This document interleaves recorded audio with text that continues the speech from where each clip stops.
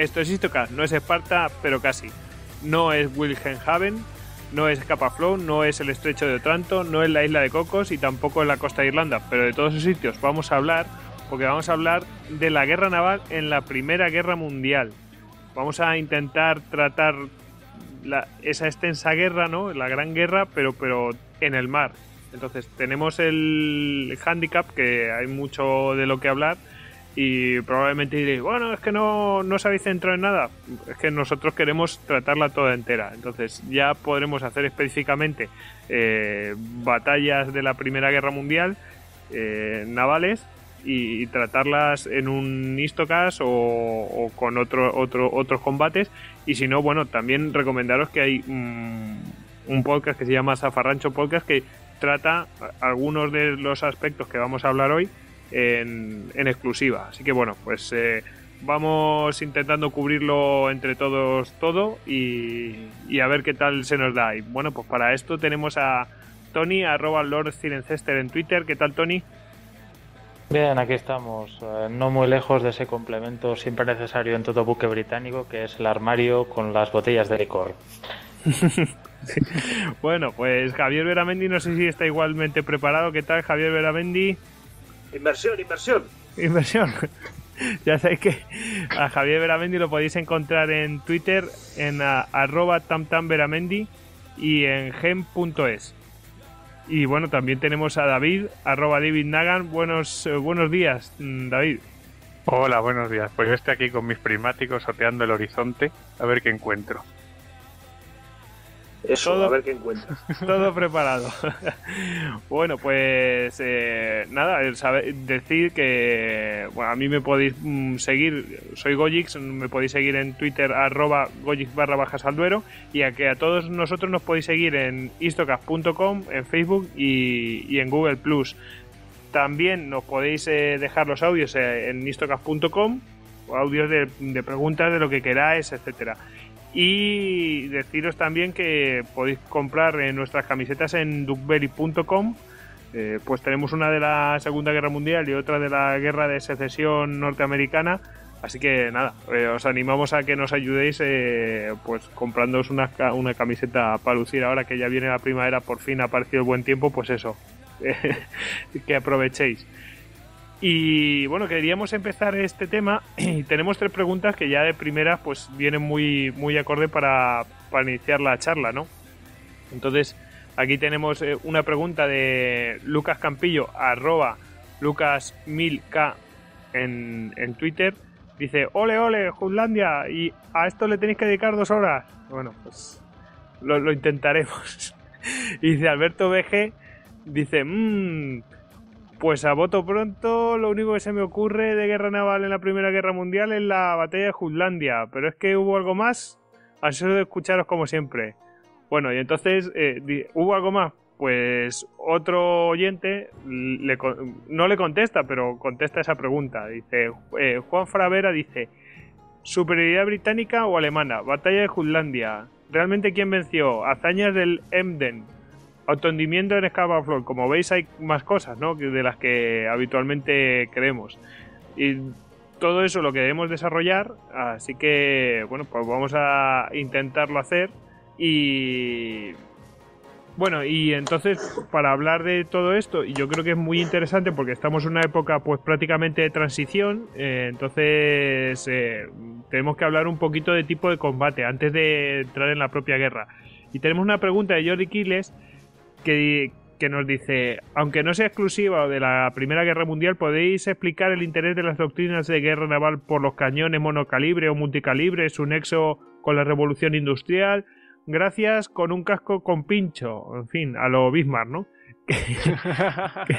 que, yo creo que en, este tema, mm, como estamos viendo, es muy importante el tema de los cañones, eh, o sea, lo que es el propio armamento y los sistemas de puntería, ¿no? Mm, Vosotros, si queréis empezar, os hago otra preguntilla que está relacionada de Lord Demian, arroba Gonzalo Villafa 4 en Twitter dice, los acorazados alemanes y sus telémetros afinaban mejor la puntería de sus terretas que la Grand Fleet.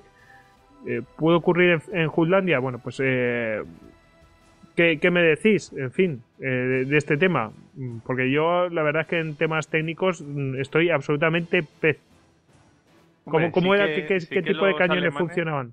¿Qué tipo de cañones y punterías utilizaban? Sí, bueno, lo de los cañones sí que sabemos que fueron creciendo a partir del desarrollo del Dreadnought. Eh, se optó por los acorazados monocalibre. Esto consistía en que después de la batalla de Tsushima se vio que las distancias a las que luchaban los barcos eran mucho, mucho mayores que, en guerras anteriores. Entonces se dijo, ¿para qué vamos a tener eh, una artillería media cuando podemos hacer un, todo o nada con la artillería? O sea, una, una artillería principal muy potente que pueda hundir el barco enemigo a más, distancia. ¿Qué pasa? Que esta, esta artillería lo que generó es nuevos problemas, porque ahora tenían que apuntar los barcos pues con distancias a lo mejor de más de 13.000 o 14.000 kilómetros. Entonces sí que se empezó a hacer una carrera también técnica paralela con lo que serían los telémetros de distancia. Pues eso, empezaron a, a ver pues unos sistemas, empezó con un sistema horizontal, pues guiados por los piques que hacían los cañones sobre los barcos, para más o menos ir centrándolos, ir buscando un poco un sistema de puntería mejor. Al final, digamos que el gato al agua sí que se lo llevaron los alemanes con los, los telemetros estereoscópicos de escala fija, que era mejor que su contrapartida británica. Aunque los británicos, sí es verdad, que practicaban muchísimo más, o sea, tenían mucha más práctica, incluso hacían competiciones de práctica para, para, para, para perfeccionar su tiro. O sea, que sí que nos encontramos bastante pareja la situación. Yo, la verdad es que mm, eh, viendo el tema de la artillería en tierra, claro, es que aquí no es tan fácil como, bueno, voy a hacer un cálculo matemático para disparar a tal sitio y hago el primero, si fallo, el segundo ya corrijo y acierto. Aquí tenías que sumar tu propio movimiento, o sea, el propio movimiento de, la embarcación más el movimiento del enemigo que, que no se está quieto y, y calcular todo eso más pues el propio movimiento del o sea, eh, el, movimiento del mar, ¿no? O sea, que te está moviendo a ti y bueno, y las todo esto que se hacían en batalla, porque claro, claro. el barco no se quedaba, sino que salía, entraba en la línea, intentaba zigzaguear, también tenías pues otras unidades menores que intentaban torpedearlo, se tenía que volver a mover, entonces entre que lo centraba, lo perdía, o sea que el combate era mucho más difícil de lo que nos pensamos. Claro, y, eso, pues imaginaos, con, con el tema del telémetro, más la capacidad de la propia tripulación. A lo mejor jamás las tripulaciones estuvieron tan preparadas como entonces, ¿no? Además también eh, era muy importante porque aunque vemos que los británicos tenían eh, cañones de mayor calibre que los alemanes, pero eh, los alemanes sí que tenían unas salvas a veces más potentes en sus barcos y sobre todo tenían mucha más cadencia de fuego. Al tener, digamos, munición más ligera, podían dispararla más rápido que su contrapartida británica. O sea que consistía todo en un balanceo exacto de lo que es el armamento y, y demás. Yo, yo, yo añadiría otro factor que no habéis mencionado, que es el proyectil en sí. Eh, parece que, bueno, a igualdad de calibre, los proyectiles británicos tenían más capacidad de penetración en las corazas alemanas, pero tenían que incidir en un ángulo de 90 grados. En cuanto este ángulo empezaba a cambiar, tenían tendencia a romperse con el impacto y entonces no penetraban en absoluto. Que también fue un factor importante a la hora de que algunos eh, proyectiles británicos o algunas salvas británicas hicieran blanco, pero no causaran daños y en cambio las alemanas, eh, digamos que aunque no tenían tanta capacidad de penetración, eh, sí a ángulos, eh, tenían más, digamos, más abierto el ángulo en el que podían penetrar o podían hacer daño en las corazas británicas. Em, bueno, eso ya nos pasa a lo, a lo siguiente, al tema del blindaje. Vamos a hablar un poquito del tema del blindaje. ¿Era tan importante o tan decisivo el blindaje en esa época? Hombre, era, era bastante importante. De hecho, eh, hablamos otra vez del balanceo. O sea, siempre se ha intentado balancear lo que era armamento, velocidad y blindaje. O sea, estos tres elementos eh, se intentan balancear para conseguir el barco perfecto. Entonces empezaron a salir series de, después del Dreadnought, este barco, diríamos, acorazado monocalibre, para, para que estos factores estuvieran perfectamente equilibrados y pudieran resistir. Eh, el blindaje, pues es mm, básico, es lo que comentaba antes Veramendi con la balística. Eh, por ejemplo, una salva de, un 383 británico puede, puede, dar a un crucero alemán, pero lo que realmente le, destroza es la energía cinética del propio peso, porque estos proyectiles solían explotar eh, contra el blindaje y no incidían dentro. Sin embargo, los proyectiles británicos sí que podían, o sea, perdón, alemanes, sí que podían llegar a incidir dentro del blindaje de, eh, británico y estallar dentro. Y bueno, en, Jutlandia, por ejemplo, será el caso de un crucero de batalla, el Lion, donde, donde un proyectil incidió en lo que sería, donde se junta la, la cubierta de la, de la torre de, de la torre cañonera con el frontal y la abrió como una lata de sardinas, matando a toda la gente que se encontraba en el interior y posteriormente los sacos de pólvora que se encontraban en los cañones cayeron sobre esta, sobre esta zona montando un infierno de, tres pares de narices. O sea que, que fíjate lo importante que es el blindaje. Estos eran acorazados de batalla, que están mucho menos blindados. Lo que era lo el, propiamente, perdón, los cruceros de batalla. Lo que era propiamente un acorazado sí que está muchísimo mejor blindado para evitar estos casos. Incluso se llegó a, a la situación que para complementar el blindaje, en muchas unidades acorazadas se construyó una red antitorpedos. O sea que si lo viéramos sería como una, como una malla que se extendía a los lados del torpedo para intentar frenarlo. a, los lados del, a los lados del barco. Exacto, lados del barco, perdón. Claro, para, para intentar frenar cualquier torpedo que llegara y hacerlo estallar antes de, que tocara la hora viva del barco. Bueno, eso seguro que era súper bonito de ver, ¿eh? Era uno de los barcos más elegantes, ¿verdad?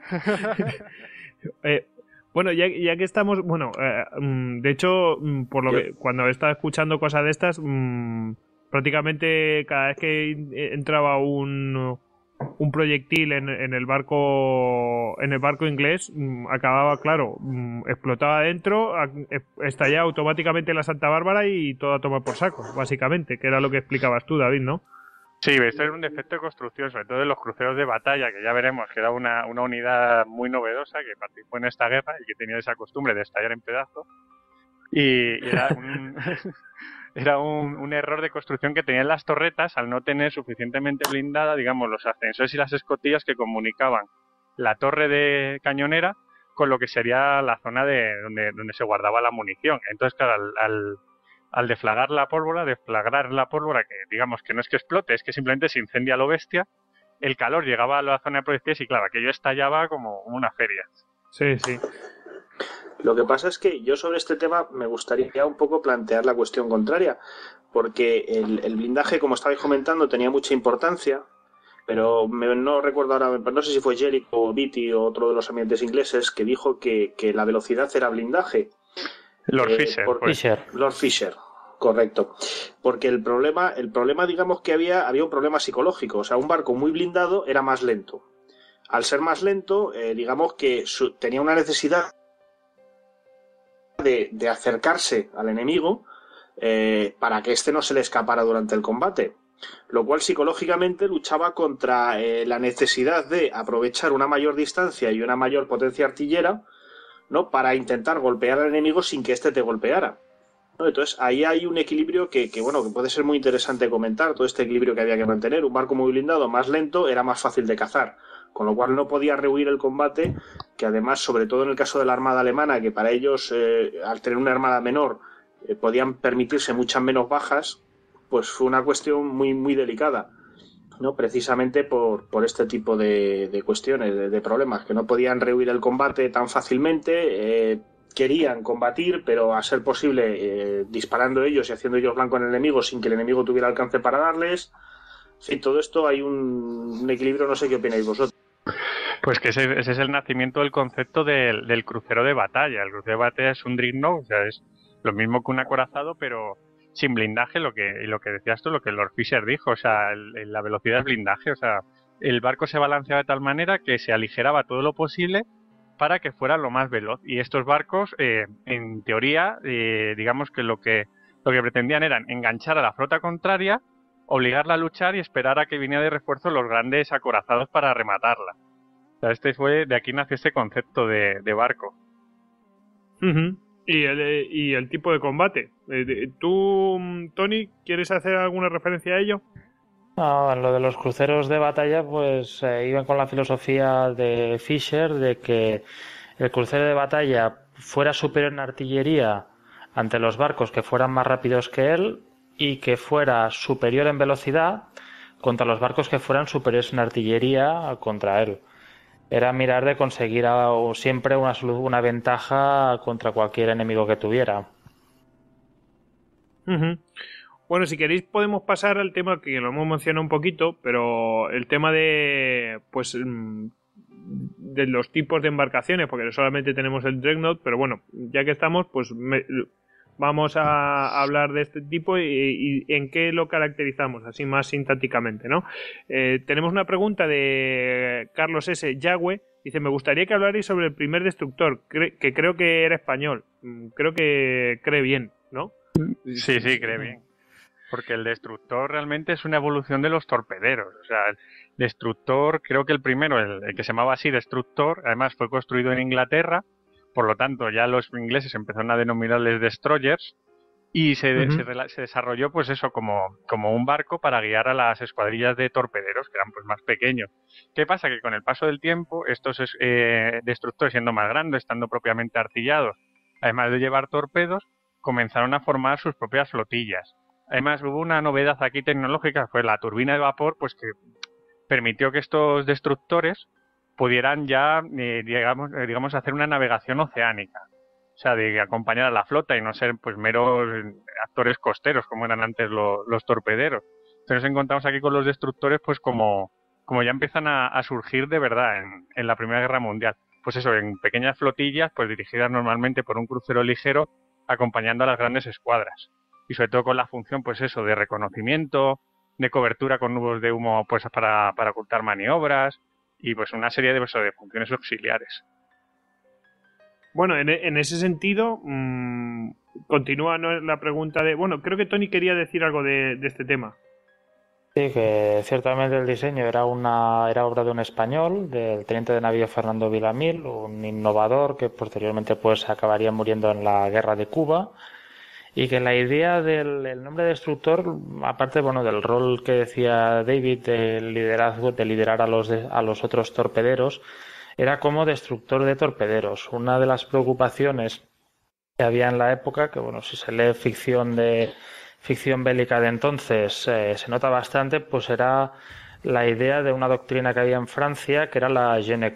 Y la Jeune era un, la escuela joven predicaba de que ante los buques pesados se podía conseguir una superioridad con lanchas torpederas, con torpederos que lanzaran golpes de mano contra los buques más pesados y menos maniobreros. Y la idea del destructor pues era acabar con estas lanchas torpederas, un buque suficientemente pesado pero también rápido que pueda acabar con este enemigo tan escurridizo. Bueno, eh, ahí tenemos esa, esa respuesta.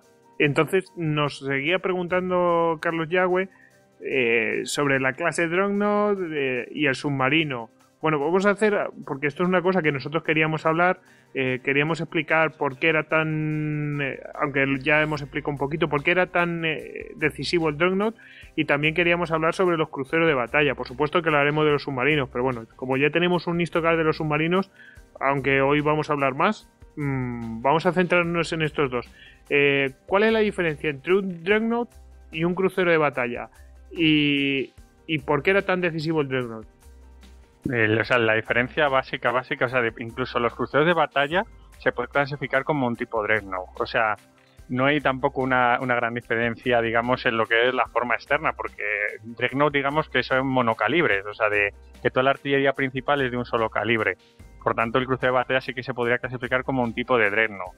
¿Qué pasa? Que el Dreadnought es el, acorazado, o sea, el acorazado prototípico que todos tenemos. O sea, unos cacharros que en la Primera Guerra Mundial pues iban entre las 18.000, casi 30.000 toneladas de alguna clase. O sea, muy blindados, como decía también Veramendi, eran bastante, digamos, lentos por ese blindaje, porque sí que sacrifican velocidad.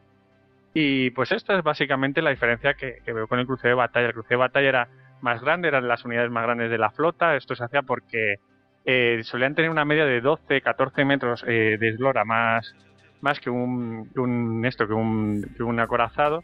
Y esto era debido pues a que, a que eran mucho más esbeltos, no tenían ese blindaje lateral, porque si tú ves un acorazado de frente, vas a ver que es casi pues una mole, o sea que tiene una manga, vamos, una, una anchura tremenda. Mientras que los, los cruceros de batalla no tienen esa anchura, porque sacrifican todo ese blindaje y tienen unas formas pues mucho más bonitas, más marineras, para ser mucho más rápidos. Y, vamos, y en, funciones, por ejemplo, las flotas asignaban a los cruceros de, batalla las funciones de un reconocimiento pesado, pues eso, de, de buscar al enemigo para fijarlo y atacarlo, pues un apoyo también cerrado a la flota, pues mm, digamos poniéndose en la cabeza de la flota para en su velocidad intentar cruzar la T a, la flota enemiga, fijarlos y destruirlos. También pues la persecución de las flotas. Una vez que una flota ha sido, ha sido dañada y tiene que retirarse, pues la velocidad de los cruceros de batalla les permite perseguirlos y rematar a las unidades que se queden retrasadas. Y también pues la protección al comercio, la protección pues a las líneas comerciales, pues de estos buques corsarios que muchas las atacaban pues con su poderosa artillería, un crucero de batalla podía definir la situación rápidamente. Bueno, eh, no sé si alguno quiere mencionar algo sobre este tipo de, embarcaciones. ¿Alguien quiere añadir algo más? Si no, pasamos a, a mencionar qué otros tipos de, barcos de combate podía haber, además del Dreadnought, los cruceros de batalla, el destructor y el submarino. ¿Alguno más que podéis así mm, pues mencionar que haya tenido su pues un papel destacado en la Primera Guerra Mundial? Hombre, hay cruceros, los cruceros ligeros, porque tenían esa función de, de escuadra de exploración de la flota principal, también de protección del comercio, y luego una los cruceros acorazados, o cruceros blindados, pues que ya en la Primera Guerra Mundial habían empezado a estar obsoletos. Era un concepto que se había visto, se ha reforzado por la batalla de Tsushima, pues, viendo el carácter que tenían los cruceros en importancia, pero que con la llegada de los cruceros de batalla, los cruceros acorazados, pues empezaron a perder importancia y fueron relegados más a, digamos, a, colonias, a líneas comerciales, vamos, a, actividades secundarias. Ya en un concepto de crucero, pues eso, que estaba bien protegido, pues para aguantar un poco contra los, contra las grandes unidades de acorazados y más o menos informar a la flota de la posición o fijarlos. O sea, un poco las funciones que el crucero de batalla le fue, le fue arrebatando. Tony. Sí, simplemente decir de, que esto, de que el crucero, los cruceros protegidos iban más con la idea de hacer una guerra de corso contra el comercio enemigo, mm, que quizá el último exponente había sido en la guerra de secesión americana, con los corsarios confederados como el CSS Alabama atacando los buques mercantes y el comercio norteamericano. En principio la idea era esto, tener estas unidades que pudieran hacer la vida imposible a la, marina mercante enemiga, encarecer los seguros de forma pues que fletar barcos fuera cada vez más prohibitivo y así pues ir dañando la economía enemiga. Bueno, eh, vamos a pasar al plan de, a los planes de las flotas, eh, que nos pregunta también Carlos Yagüe, Carlos S. Yagüe, dice, también la importancia de la guerra naval como, como gracias a las flotas se puede estrangular a una nación hasta el punto de llevarla al límite. El dominio de los mares sigue siendo vital para asegurar el esfuerzo de guerra. Bueno, pues yo creo que eso incluso a día de hoy, ¿no? Pero... Mmm, Tony, ¿tú qué quieres responder a esto? Yo creo que es bastante acertada este, esta reflexión de Carlos Yahweh.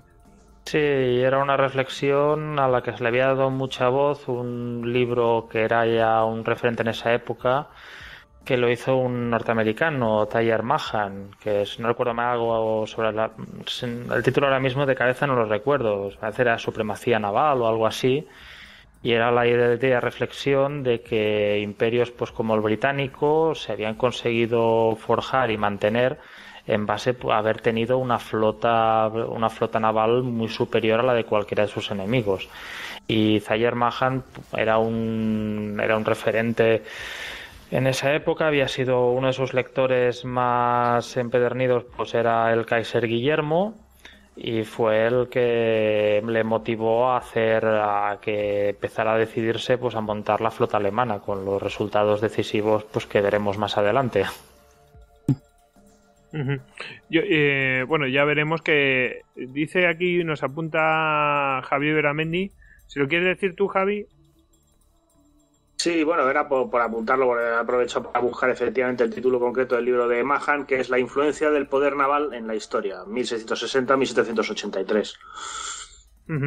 Pues, lo que viene, vamos a ver, em, lo que es la tesis es que pues, prácticamente las guerras se ganan por logística. Entonces, para claramente, si tú dominas el mar, tienes el dominio de la logística. Eh, y como, como veremos, esta Primera Guerra Mundial, prácticamente todo el mundo coincide que se ganó eh, por logística, por aplastamiento, ¿no?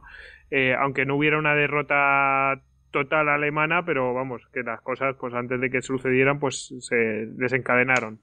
Em, Hombre, yo, yo para apuntar un poco esto que dices, habría que comentar que a partir de 1916 en Alemania se empieza con los racionamientos de la población civil. Claro. Hay, hay, un, de hecho, hay un testimonio de un, un, tripulante de un submarino que capturan, que llevan a Inglaterra y que allí en Inglaterra el, el, eh, tipo, pues que estaban peleando en los submarinos por intentar que en Inglaterra eh, sufrieran eh, con el tema de la logística, etcétera, etcétera, etcétera, y que él sabía cómo vivían en Alemania con racionamientos, que había peligro de estallido social y tal, y de repente ve que en Inglaterra ya muy avanzada la guerra, cuando a él lo capturan, ve que lo primero que hacen es darle chocolate, no sé qué, que todo el mundo tiene carne, o sea, que, no hay ningún problema. Y claro, dice, hemos perdido la guerra. El tipo dice, para mí la guerra ya ha terminado, pero tengo claro que la guerra está perdida. O sea, todo el esfuerzo que estamos haciendo no, ha servido para nada. Bueno, no adelantemos acontecimientos. Em, vamos a hablar de los planes de la flota. ¿Cuál es el, eh, David, cuál es el plan de la flota británica? El plan de la flota británica era evidentemente muy sencillo, era realizar un bloqueo lo que ocurre es que la existencia de la flota alemana hizo que este bloqueo, en vez de ser muy próximo a la costa, bloqueo como el que hizo, por ejemplo, en las guerras napoleónicas, tuviera que ser más un bloqueo de alta mar. Por eso eh, vemos la curiosidad de que siempre cuando hay una guerra contra Alemania, la, principal flota británica se traslada a Scapa Flow, Scapa Flow que está en las Orcadas y que prácticamente es de donde se controla pues todo lo que es el, mar Germanicus, o sea, esa zona que comprende entre eh, la bahía de Yates, donde está Wilmerhaven, eh, la desembocadura del Elba, donde se encuentra Hamburgo, y el triángulo que forman con el Igoland, que es donde es, mm, digamos que es la, costa del Mar del Norte alemana. Entonces de ahí la pueden controlar completamente y claro, con los cruceros y los destructores pues realizan patrullas de pues para ver los barcos que, pasan, registrarlos y ver que no llegue ningún tipo de ayuda a Alemania, ningún tipo de, suministro. Entonces es el, digamos, la principal estrategia británica. En contraposición, pues la, la estrategia alemana era pues aguantar en sus bases y realmente era mediante submarinos y campos de mina intentar mermar la capacidad eh, combativa británica hasta intentar llegar a una igualdad para pues para forzar una, una batalla definitiva donde pudieran tener realmente una victoria contra, contra Gran Bretaña. ¿Qué es lo que ocurre? Pues que tuvo un éxito a medias. O sea, por ejemplo, eh, tendieron campos de minas donde acorazados como el Agincourt Cursi que, que la palmaron, pero ¿qué ocurre? Que es que los británicos en lo que era la inteligencia eran tan buenos que los alemanes, a los alemanes nunca se enteraron de esos éxitos. Por tanto, nunca eran conscientes de la cantidad de, barcos que había realmente británicos en Scapa Flow. O sea que, esto es lo que ocurría. Eh, bueno, de, todo modo sobre esto, me parece que luego hablaremos del Magdeburg. Sí, digo que sobre esto supongo que luego hablaremos del Magdeburg, pero además hay que añadir eh, que, los alemanes hacían un uso totalmente indiscriminado de, las comunicaciones por radio, cosa que en este sentido ayudó mucho a los británicos. es que los británicos tenían una, una red de radiogoniómetros donde situaban, digamos, los, donde estaban las emisiones de radio de, de los barcos alemanes. Claro, los barcos alemanes decían, pues mira, nos las cambiamos con emisiones de tierra, así se creen que estamos en puerto. Pero claro, con lo que decía el caso Magdeburg, pues realmente permitió descifrar esas comunicaciones y ver que, realmente sí que, sabían dónde se encontraba el barco, aunque se cambiara, por ejemplo, el barco insignia alemán con la estación de, de Wilmershaven de radio, se cambiaban el código, pero eso eran conscientes totalmente los ingleses, y eso en muchas batallas se vio, y sabían perfectamente cuándo salía la flota alemana de puerto.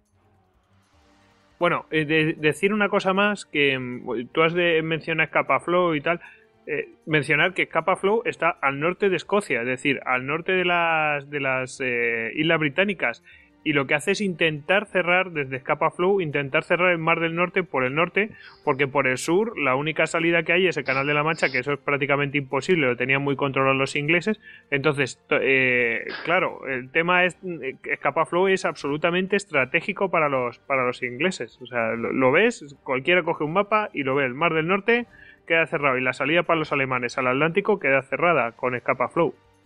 Muy complicado, ¿no? Mm. Em, bueno, vamos a, pasar a una pregunta de Lord Demian. Dice Lord Demian, ya sabéis, arroba Gonzalo, Gonzalo Villafa 4, dice, ¿alguna...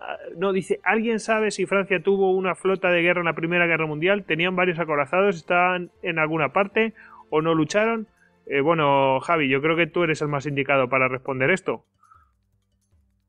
Pues sí, sí, Francia tuvo flota de guerra, claro que sí, como, todas las grandes potencias de su época.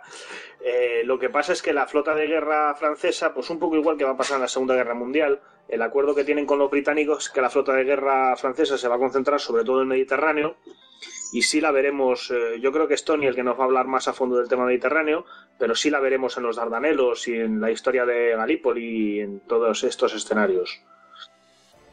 Tony. Por lo que he podido encontrar aquí empieza la guerra en el agosto de 1914 con cuatro dreadnoughts, eh, seis semi-dreadnoughts y 15 buques Pedreadnought y entre unidades ligeras y así pues llega a sumar 202 naves. Bueno, pues eh, no sé si ha quedado claro, yo creo que bastante bien contestada. Podemos ya entrar en la propia guerra, ¿no? Vamos así a saco paco, ¿no? Parecemos un crucero de batalla. Bueno, eh, yo tengo una pregunta que siempre me he preguntado, ¿no? Eh, que es eh, cuando hablaban de la guerra de submarinos y tal, yo siempre la, confundía con la propia guerra corsaria. Entonces, ¿es lo mismo la guerra corsaria que la guerra submarina? Y perdonadme mi ignorancia. ¿Quién quiere responderla?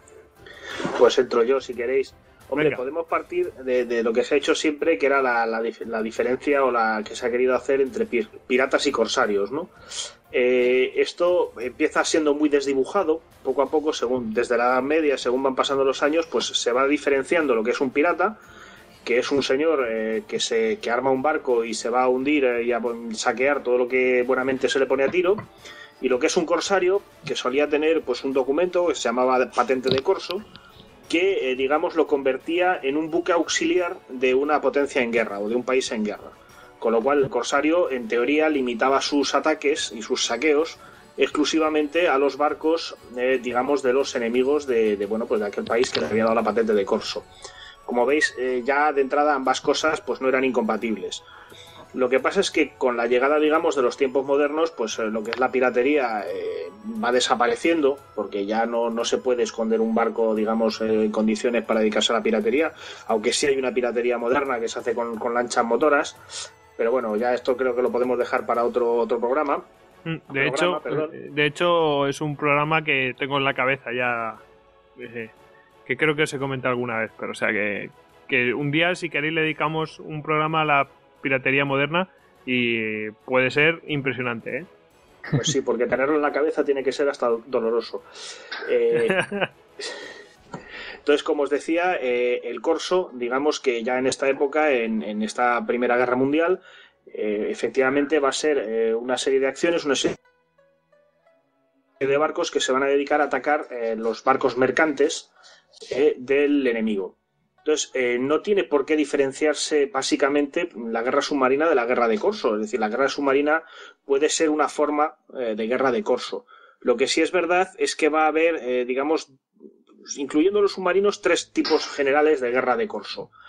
una que van a llevar a cabo buques militares, o sea, barcos pertenecientes a la flota, en este caso alemana, que serán principalmente pues, barcos que se han visto sorprendidos fuera de Alemania por el estallido de la guerra, que tienen que abandonar puertos neutrales, porque bueno, pues hay una serie de convenios eh, que hace que no se puedan quedar allí y que se encuentran pues en mitad del Atlántico o en mitad del Índico o en mitad del Pacífico, pues sin saber muy bien qué hacer, ¿no? Entonces no son barcos que tengan la potencia suficiente como para atacar las grandes escuadras y lo que se dedican es eso, es a perseguir mercantes. Hay una serie de reglas, tienen que ser, bueno, tienen que ser presas legítimas, es decir, que estas presas eh, tienen que llevar, tienen que pertenecer al país enemigo o llevar una carga que sea para el país enemigo. Esto va a dar pie a muchísimas discusiones y a muchísimos eh, debates internacionales, sobre todo con el tema de los submarinos, porque bueno, dentro de lo que cabe, pues un, crucero ligero que para un mercante eh, corre muy poco riesgo, por mucho que el mercante pueda tener algún cañoncito colocado, el riesgo es mínimo, pues para un submarino el riesgo era mucho más elevado. Eh, entonces, bueno, pues en, teoría digamos que lo que las buenas prácticas decían que había que hacer cuando el barco no era de bandera de un país enemigo, cuando tenía bandera, en caso de un corsario alemán, cuando tenía bandera británica, le metías tres cañonazos, lo hundías y fuera. Eh, en principio, ¿no? Lo que pasa es que, bueno, las reglas decían que lo tenías que parar, que le tenías que eh, permitir que la tripulación pudiera evacuarlo y luego si era un barco de otro país, pues comprobar que efectivamente llevara carga, eh, coger sus manifiestos de carga eh, o revisarlo, mandar un trozo de abordaje que lo revisara y a partir de ahí lo podías hundir.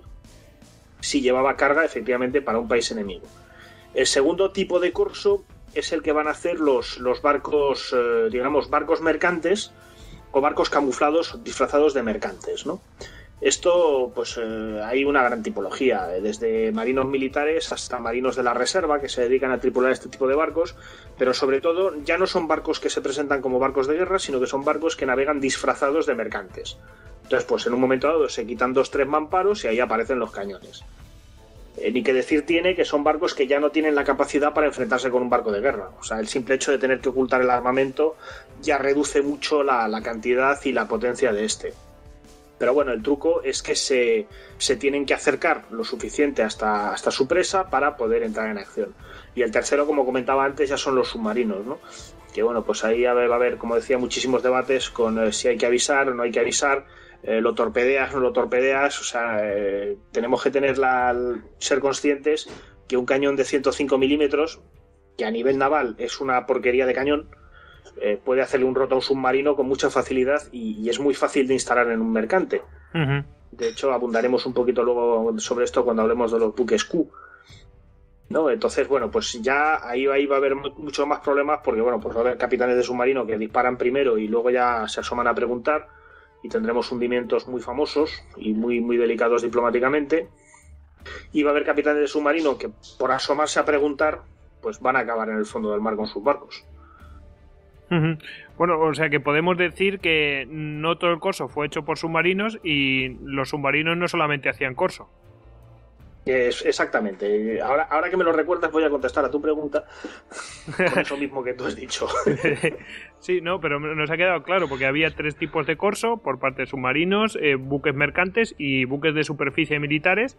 Eh, y, claro, luego los submarinos no solamente se dedicaban a hacer corso, sino que hundían eh, también embarcaciones militares enemigas. O sea que, que, la verdad es que queda muy claro voy a hacer una pregunta respecto, bueno, dos preguntas respecto al, al, Corso, ¿no? A la guerra de Corso.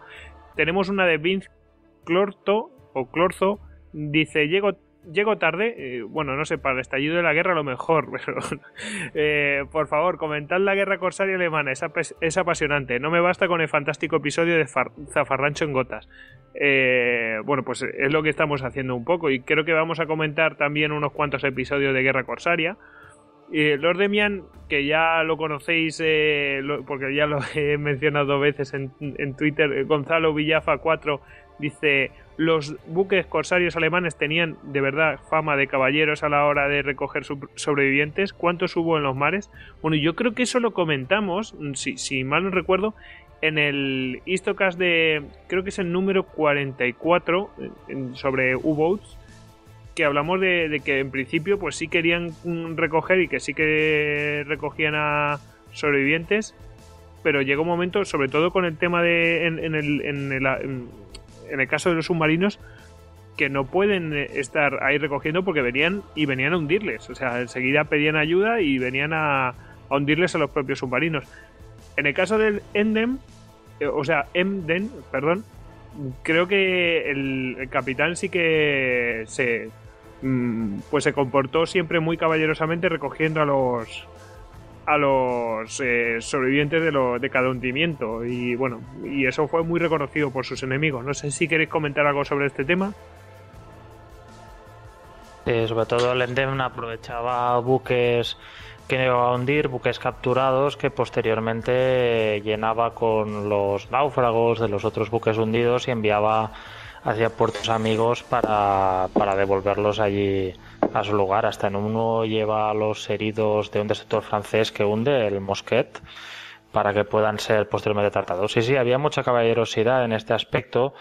Y es una de esas cosas, pues bueno, de la vieja escuela, que, por ejemplo, en el caso, leyendo las memorias, pues del capitán Von Trapp, cuando tiene su primer, cuando hunde su primer buque, si no recuerdo mal, es el crucero blindado el León Gambetta, un francés, pues hay un momento que hasta se plantea un dilema moral de decir, bueno, ¿qué somos? Eh, ¿Soldados que obedecemos órdenes o carniceros que nos deslizamos allí por la noche y torpedeamos un buque lleno de gente que no sabe que estamos aquí, que no puede responder y les damos muerte? Y en este aspecto, quizás una de las últimas guerras pelín románticas. Yo creo que además podríamos añadir eh, un, hecho casi, casi racial, ¿no? Es decir, todos son marinos y todos se enfrentan al mar en un momento dado.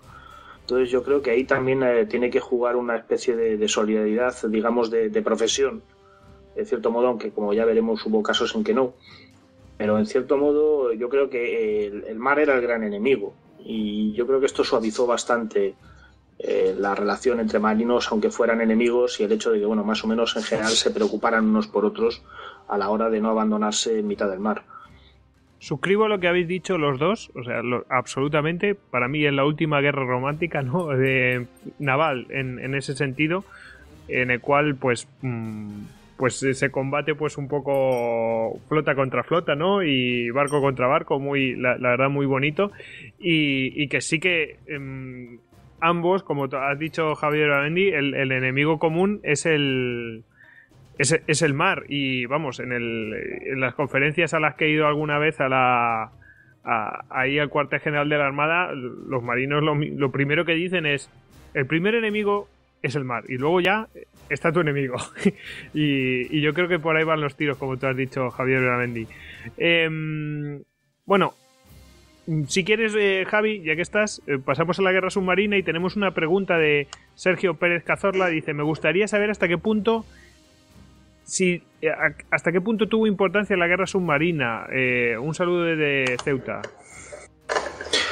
Pues hasta qué punto tuvo tuvo importancia, pues mucha, mucha, sobre todo desde el momento que se empieza a orientar contra el, comercio. en 1917 eh, el Reino Unido estuvo a punto de sucumbir.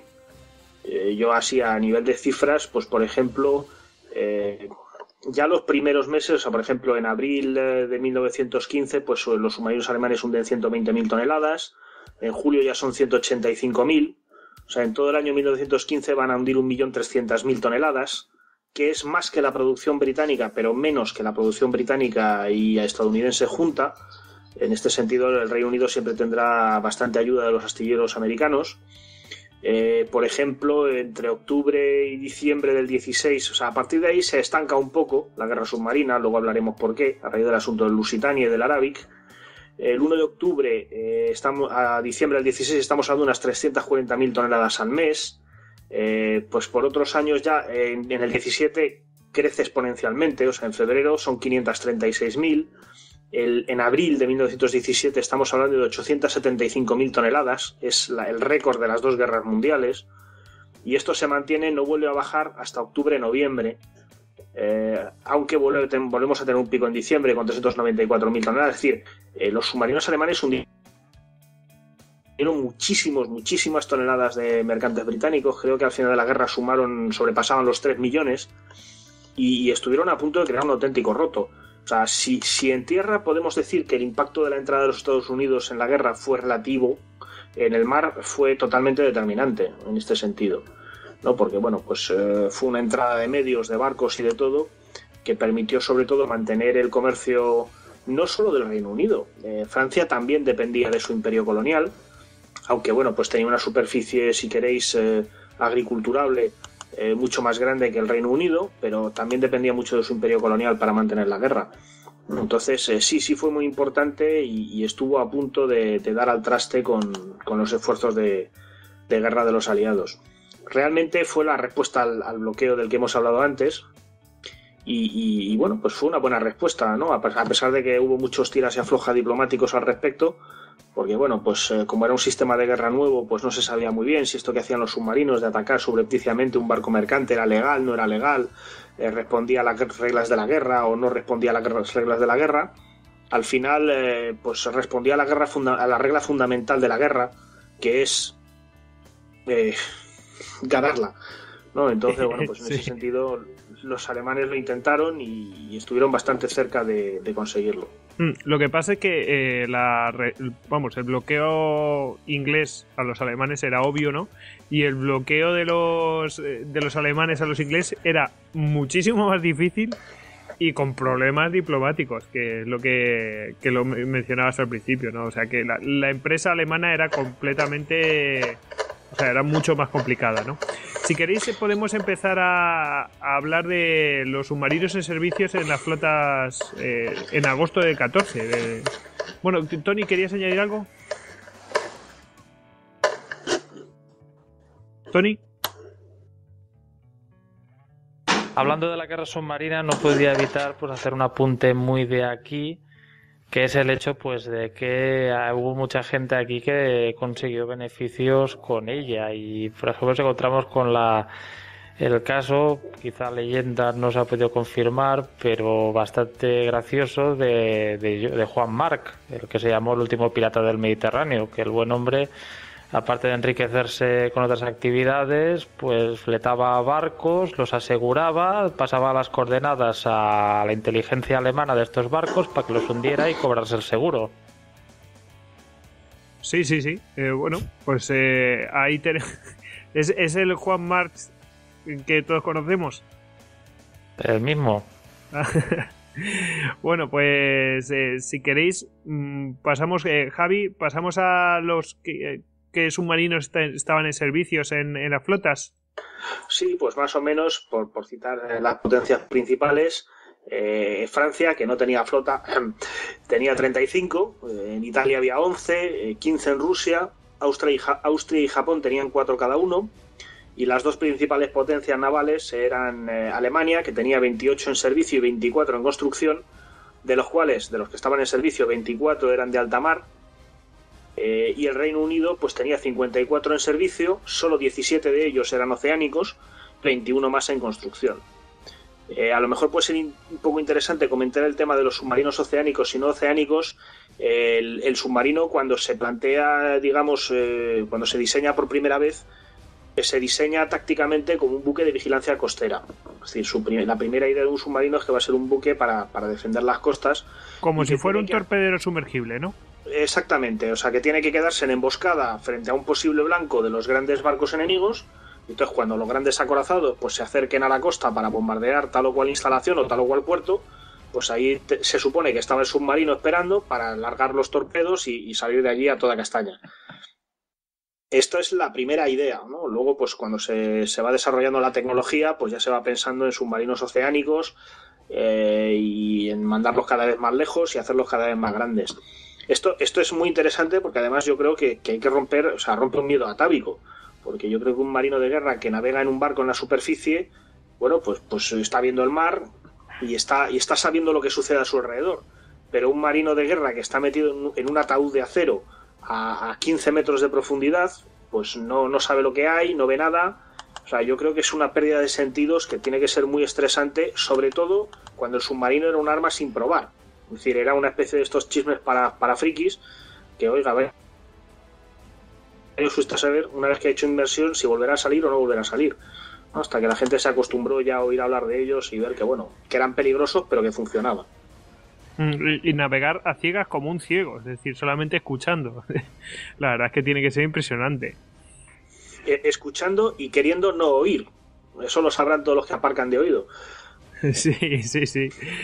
Bueno, eh, pues si queréis podemos pasar. Hay una pregunta, ¿no? Que nos hace Domingo Pascual Ruiz. Dice: ¿Qué diferencias técnicas existían entre los U-Boats de la Primera y la Segunda Guerra Mundial? Eh, saludos a todos y en especial a Hugo. Bueno, pues Hugo, te mandamos saludos desde aquí. bueno, ¿qué, me, ¿qué me decís? ¿Cuáles eran las principales diferencias entre los submarinos de la Primera y la Segunda? Venga, ¿quién se atreve? ¿No se atreve nadie?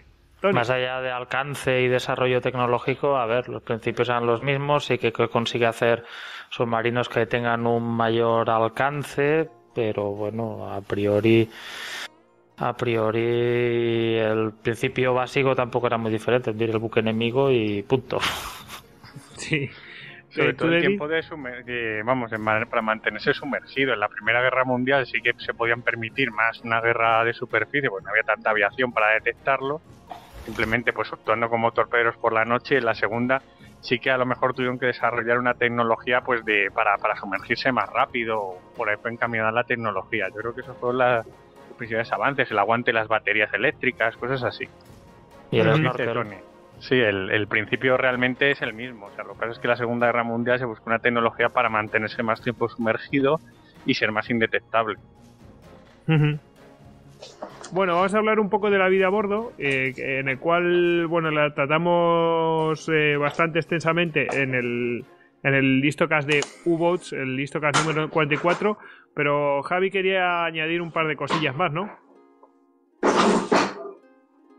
Sí, bueno, en general, eh, hombre, recalcar, recalcar que sobre todo en este tipo de buques era extraordinariamente incómoda, eh, pues eh, no había espacio para nada, ¿no? Por ejemplo, pues decía Johannes Spies, segundo a bordo del U9, decía, no, se no podía dormir ni aun estirar las piernas, pues sobre la litera en la parte posterior había una caja de fusibles y a tapa saltaba a veces si el durmiente movía los pies corriendo el riesgo de sufrir una fuerte sacudida eléctrica.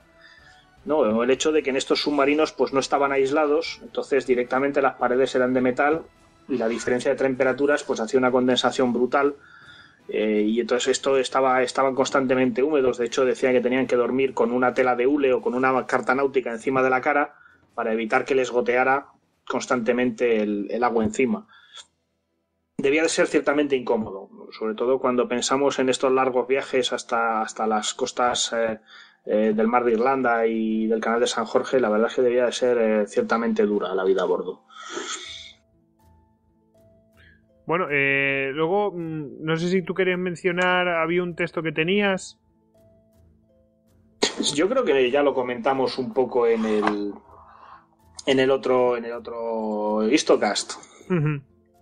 Bueno, pues eh, nos remitimos a ese Histocast y entramos con las primeras acciones en 1914. En concreto hay una acción que nos menciona Antonio Cruz Medina, la acción del 22 de septiembre de 1914 en el Mar del Norte.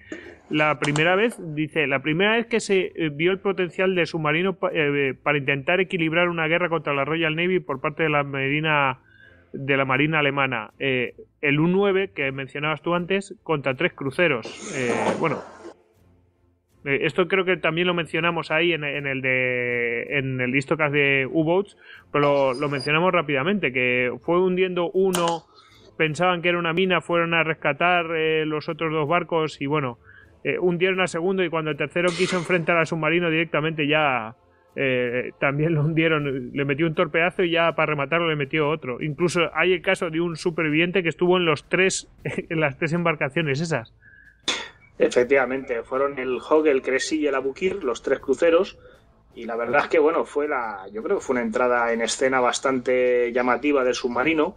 Que, como habíamos comentado antes, que su primera, digamos, intención táctica era como vigilancia costera, en ese momento eh, se, empezó a pensar ya en el submarino eh, como arma de ataque eh, a las flotas enemigas, digamos, en alta mar y sobre todo fue bastante, fue bastante dañino para la, flota alemana en el sentido en que esta, a raíz de estos hundimientos, decidió eh, que los submarinos podían ser el arma con, los, con la que equilibrar la balanza.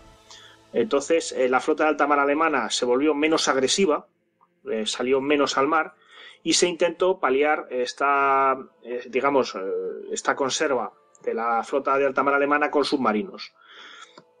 No funcionó mucho, porque de todos modos, pues los, submarinos, estos submarinos eran barcos eh, pues más lentos, eh, con menos capacidad de inmersión. O sea, pensemos que los primeros eh, submarinos alemanes se supone que solo podían bajar hasta los 14 metros. Luego se demostrará que bajaban hasta los 40.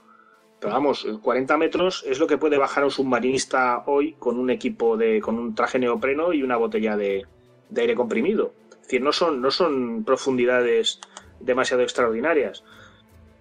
¿No? Y bueno, pues eh, en ese sentido hizo daño. Siguiendo con el U-9, porque el, barco de, de, de, Bedingen, de Otto Bedingen, va a, va a, seguir operando y va a destruir eh, en octubre, el 14 de octubre, eh, hunde el crucero protegido Hawk cerca de las, cerca de las Orcadas y además, comentabas antes la historia del hombre que estuvo en los tres barcos, pues bueno, pues en el Hawk iba a bordo un superviviente de uno de esos tres barcos, una vez más, ¿no? Parece como, como si hubiera escasez de marinos, pero vamos, es otro, otro hombre que tuvo poca suerte. Y lo que sí se consiguió en ese momento es que la flota británica hubiera una auténtica psicosis de los submarinos. O sea, se cuentan escenas auténticamente de chiste en Escapa Flow, con los barcos disparando al centro de la rada porque se había visto algo que podía ser un submarino. Eh, bueno, auténticos ataques de pánico en las costas, porque bueno, pues alguien veía una gaviota pescando una sardina y era, el era un periscopio. En fin, va a haber bastante psicosis. Va a haber bastante psicosis y ahí van a tener que calmar bastante los nervios los grandes almirantes británicos, sobre todo porque los o sea, los destructores van a empezar a estar pluriempleados, los van a mandar de arriba para abajo en busca de un periscopio de otro, hasta que ya se vayan estabilizando las cosas, las estaciones radiogoniométricas que comentaba antes David, pues van a empezar a operar y a localizarlos con más facilidad cuando emiten por radio, y bueno, pues poco a poco se irá calmando. ¿no? Eh, una de las anécdotas interesantes, igual me adelanto un poco, pero ya que tengo trinca el micro, voy a aprovechar. Dale, dale. Eh, precisamente precisamente junto al U-9 ese 14 de octubre, cuando atacan el Hawk, eh, viaja el U-17. El U-17 eh, tiene la distinción, de, la distinción de ser el primer submarino alemán que eh, hunde un mercante británico. Esto sucedió en las costas noruegas, detienen un vapor inglés, el Glitra, y mandan a bordo un, trozo de abordaje. El capitán del submarino manda a bordo un trozo de abordaje que lo revisa, ve que lleva mercancías de guerra ordenan a los marinos ingleses mercantes que eh, lo evacúen y entonces se encuentra con un problema.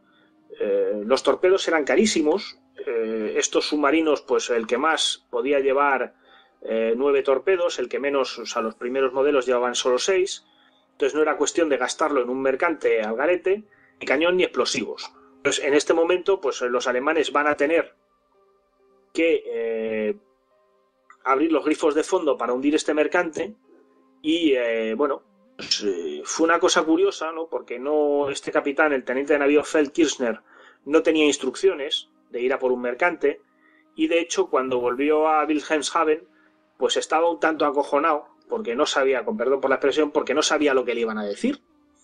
¿no? Parece que su jefe de flotilla, pues aquello le pareció una buena idea, su jefe de, de flota también, y esto llegó hasta el Ministerio de la Marina en Berlín, y ahí ya pues decidieron que, sí, que esto de hundir mercantes pues podía ser una buena idea y a partir de ahí se empiezan ya a equipar a los primeros a los submarinos alemanes pues con algún cañón que llegará hasta los 150 milímetros y con, explosivos para poder llevar a cabo esto sin tener que gastar un, torpedo entonces bueno pues esta, esta primera acción fortuita es la que va em, terminando el desarrollo táctico digamos que habíamos empezado antes de lo que para qué servía un submarino o para qué se, que, se creía que debía servir pues ahí cerramos el círculo y ya nos vamos al, submarino de, ataque a mercantes, al submarino de corso que hablábamos antes, ¿no? Y, que va a ser la gran misión del submarino durante dos guerras mundiales.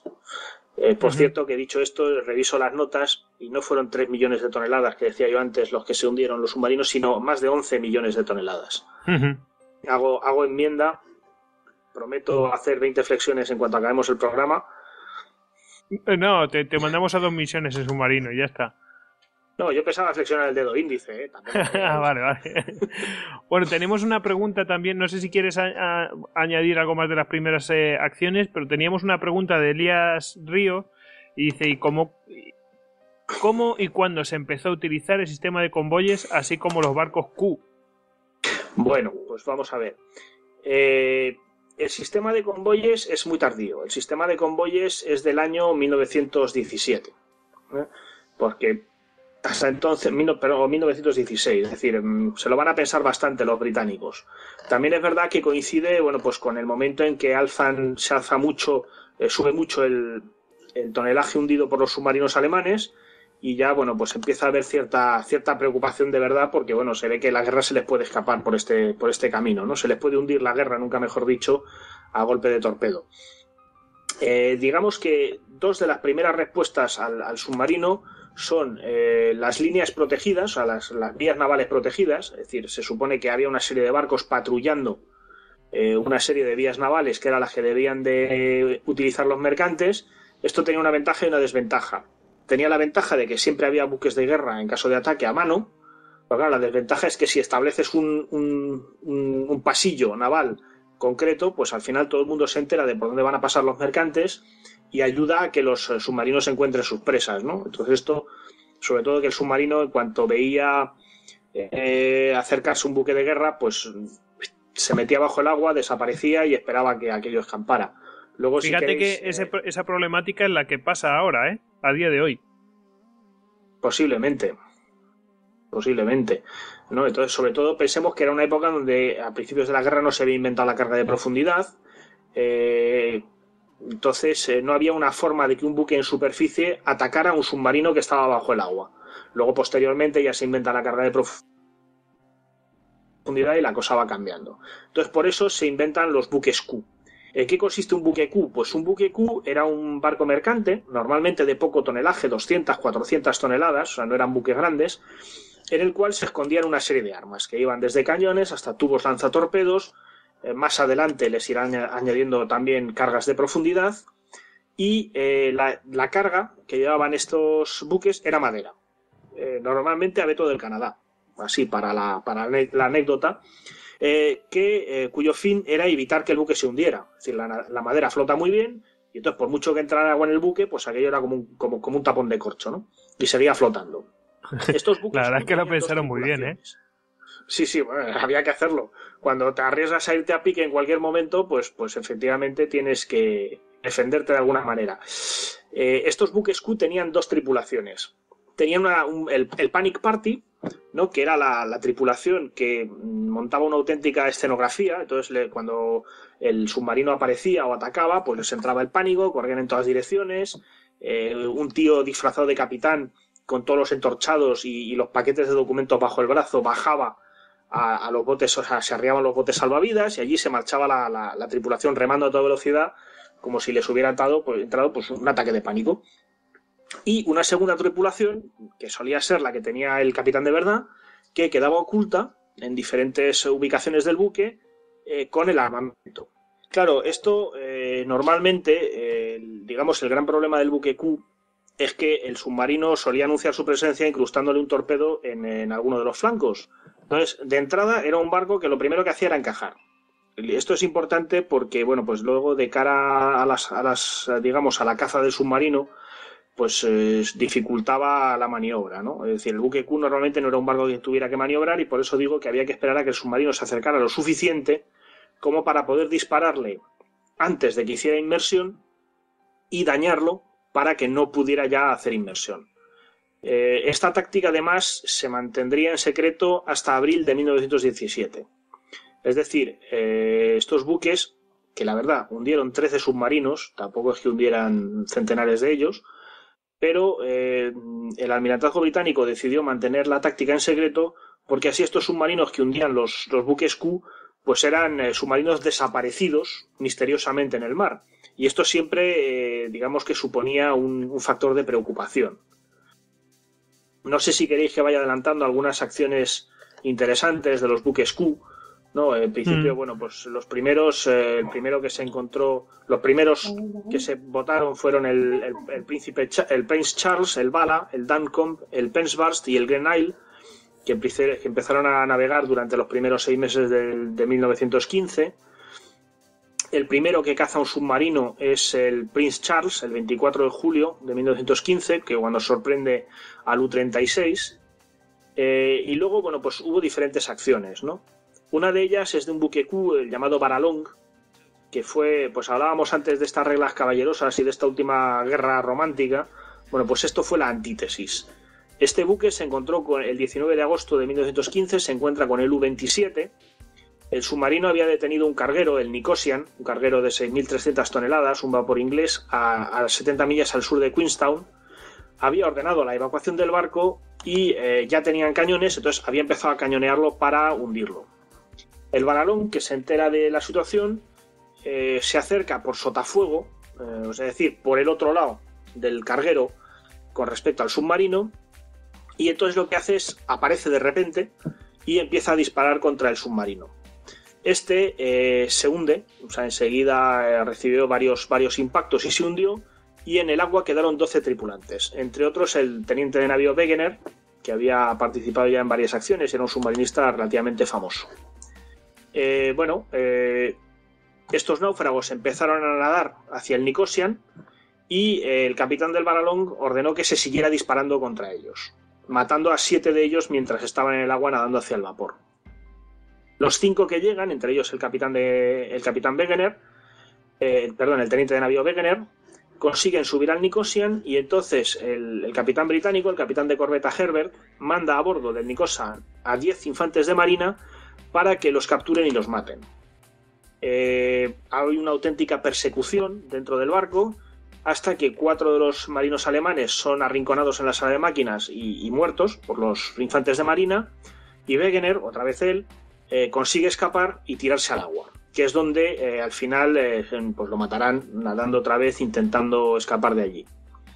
Esto yo creo que el propio, el propio oficial inglés se dio cuenta que se había sobreexcedido cuando pide a todos los marinos del Nicosian, algunos de los cuales eran estadounidenses, que guarden el secreto de lo que ha sucedido. ¿no? Y estos, claro, como en ese momento son neutrales y no se sienten en absoluto obligados, pues no tardarán en difundir la noticia y eh, bueno, pues se crea un cierto escándalo internacional, eh, porque bueno, pues es una vulneración muy, muy dura de las leyes de la guerra.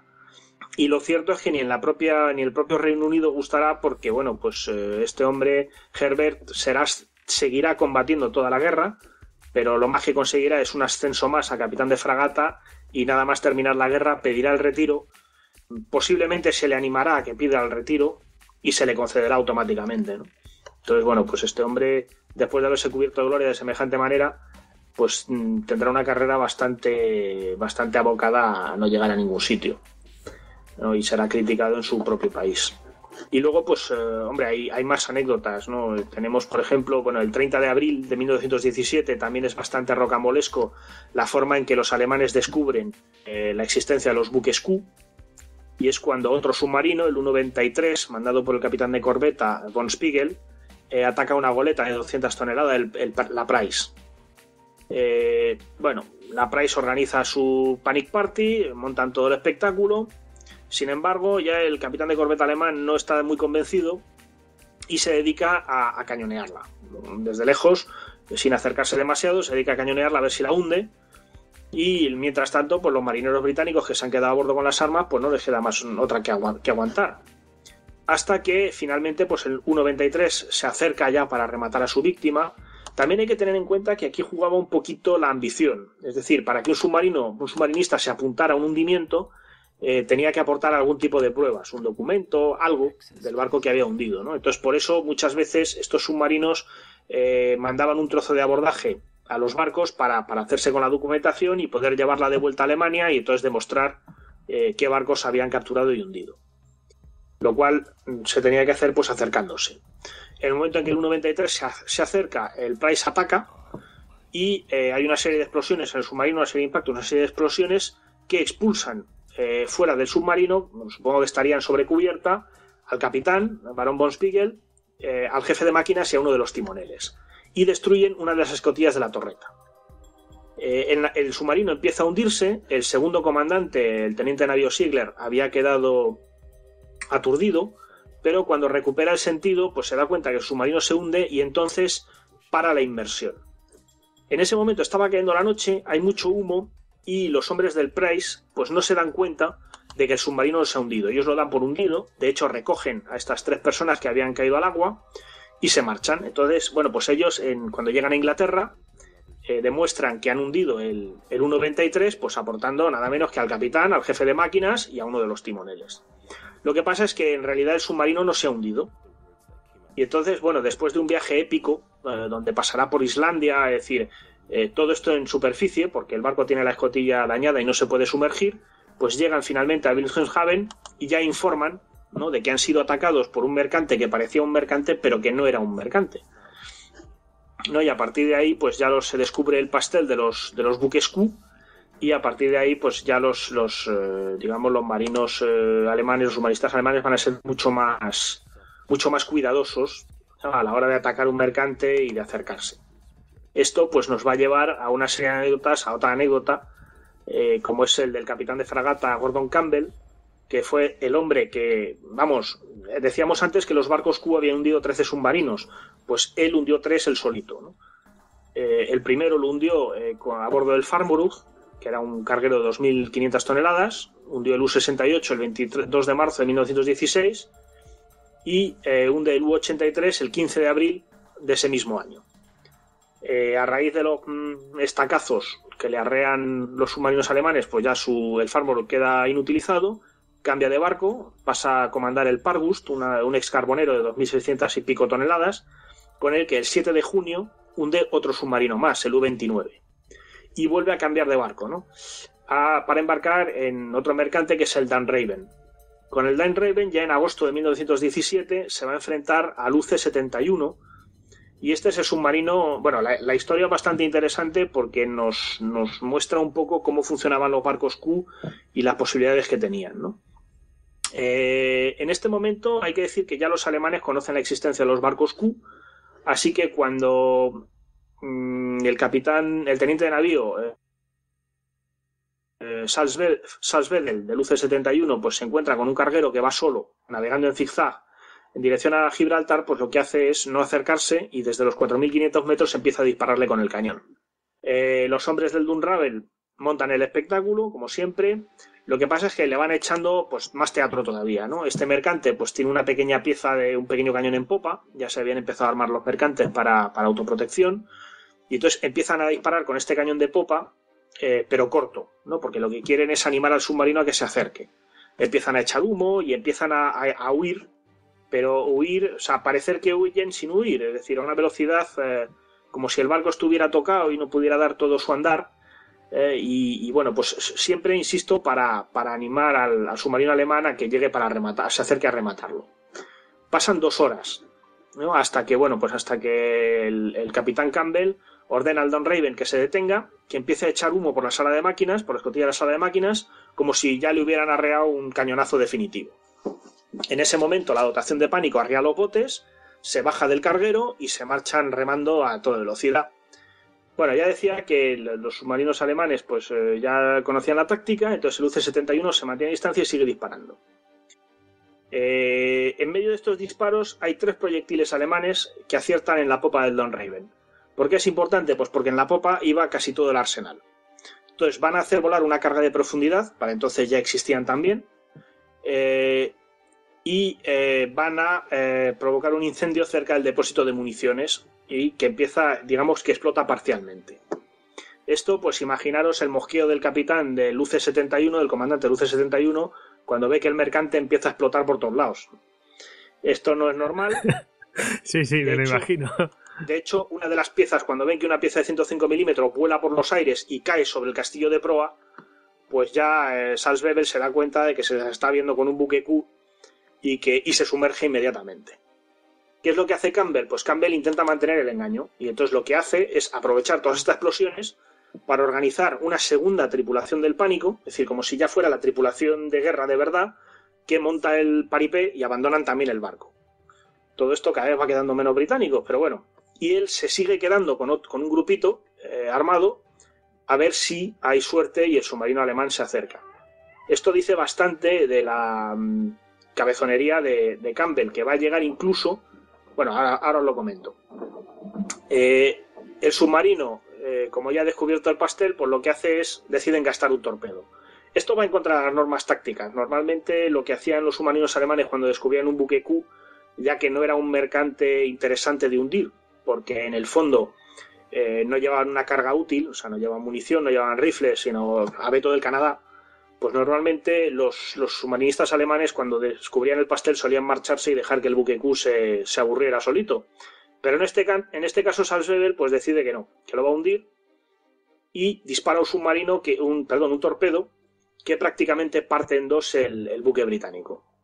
En este momento Campbell, como os decía antes que era bastante testarudo, manda un mensaje radio diciendo que por favor que no se le acerque ningún destructor ni ningún navío de rescate que aquí hay un submarino alemán y yo me lo voy a quedar. Eh, en este momento, como armamento operativo, tiene dos cañones y dos tubos lanzatorpedos, eh, que estos, los tubos lanzatorpedos los tiene en, la hora viva, es decir, por debajo del mar. Siguen 20 minutos de espera, el alemán no emerge, igual de cabezota que Campbell, y se queda esperando a ver si el barco británico pues, tiene, tiene a bien hundirse. Ya sabemos que a los británicos hundirse les cuesta mucho y, así queda la cosa. Hasta que finalmente el submarino pues, decide emerger para ver que para acabar la faena, con la mala suerte para Campbell, que lo hace justo por la parte de popa del Lone Raven, que es la parte que está destrozada y desde donde nadie puede disparar. Otra vez empieza el, submarino alemán a bombardear a lo que queda, por decirlo de alguna manera, del buque británico, y otra vez eh, se sumerge para acercarse eh, con el periscopio para ver qué es lo que pasa.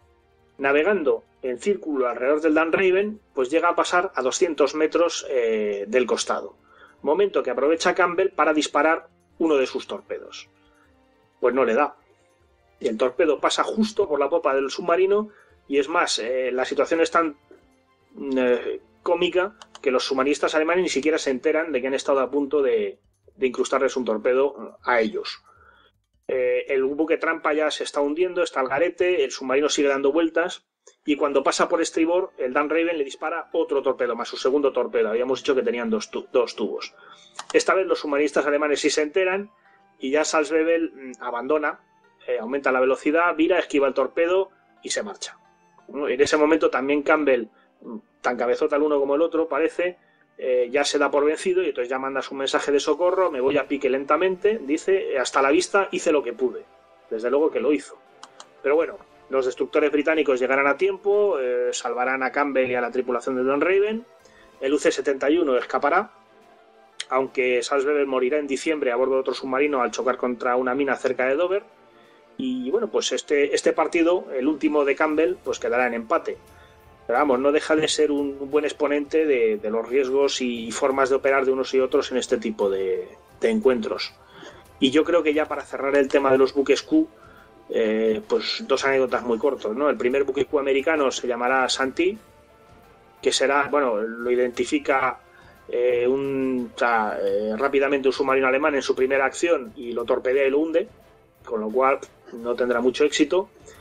Y el último submarino alemán hundido por un buque Q será el U-34 de la flotilla de Cataro en el Mediterráneo, que, el, que a primeros de noviembre había partido eh, hacia Alemania, a primeros de noviembre del 18, la guerra estaba a punto de terminar, eh, había toda la flotilla había partido hacia Alemania, hacia Alemania, ataca el buque trampa a Privet en superficie y, bueno, pues eh, rápidamente el buque trampa le incrusta 11 proyectiles en el casco y lo manda a pique en la noche del 8 de noviembre, trágicamente pues dos días antes de que se firme el armisticio.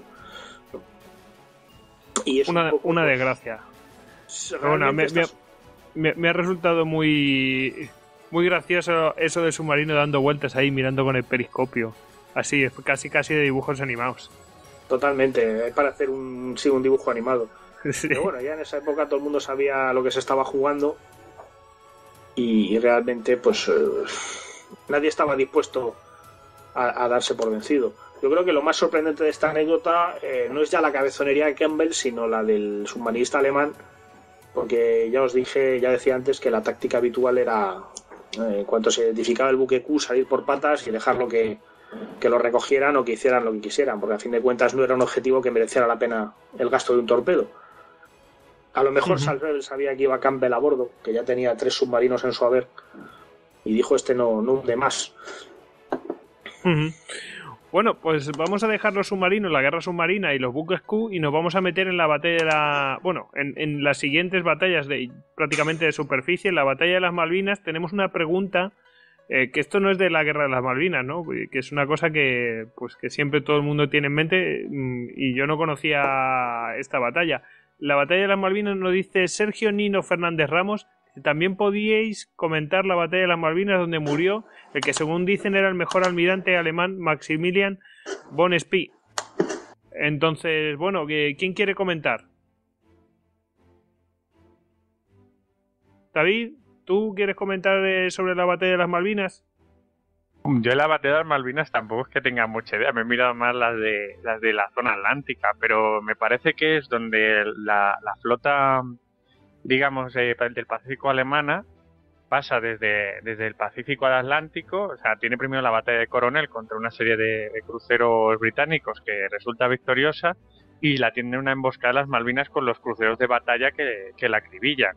Y es aquí donde el, bueno, los dos barcos de, de Bonespí, que creo que son el Snorts y el Jenisau, que estos barcos luego tuvieron una rememoración en la Segunda Guerra Mundial que siempre iban juntos, son la pareja de moda entre los barcos alemanes, y fueron ambos hundidos. O sea, se rumorea que, les mandaron un mensaje falso desde, desde Gran Bretaña, o sea, para, para tenderles una trampa, y allí los cruceros de batalla, pues, pues siendo mucho más poderosos, a estos dos cruceros que eran, pues eso es lo que habíamos dicho, los cruceros acorazados o cruceros protegidos, fueron, fueron aniquilados por las fuerzas británicas. Eh, Tony, ¿tú querías intervenir? Sí, añadir dos cosillas que eh, Bonespí, eh, pese a que el Bon nos podía llegar al engaño de que era alemán, era, había nacido en Dinamarca y que allí en la batalla de las Malvinas, que podría, podría haber hecho mejor papel, porque creo recordar de que hay un momento en que la flota alemana se encuentra con la flota británica, que está la flota británica carboneando en las Malvinas, que podría haberlos atacado allí mientras estaban suministrándose, pero parece ser pues que dejó pasar la oportunidad y acabó pues bueno con su flota hundida y él y si no recuerdo mal dos hijos suyos también muertos en esa acción. Eh, eh, Javi, ¿tú querías intervenir eh, o mencionar algo o te has satisfecho con esta explicación?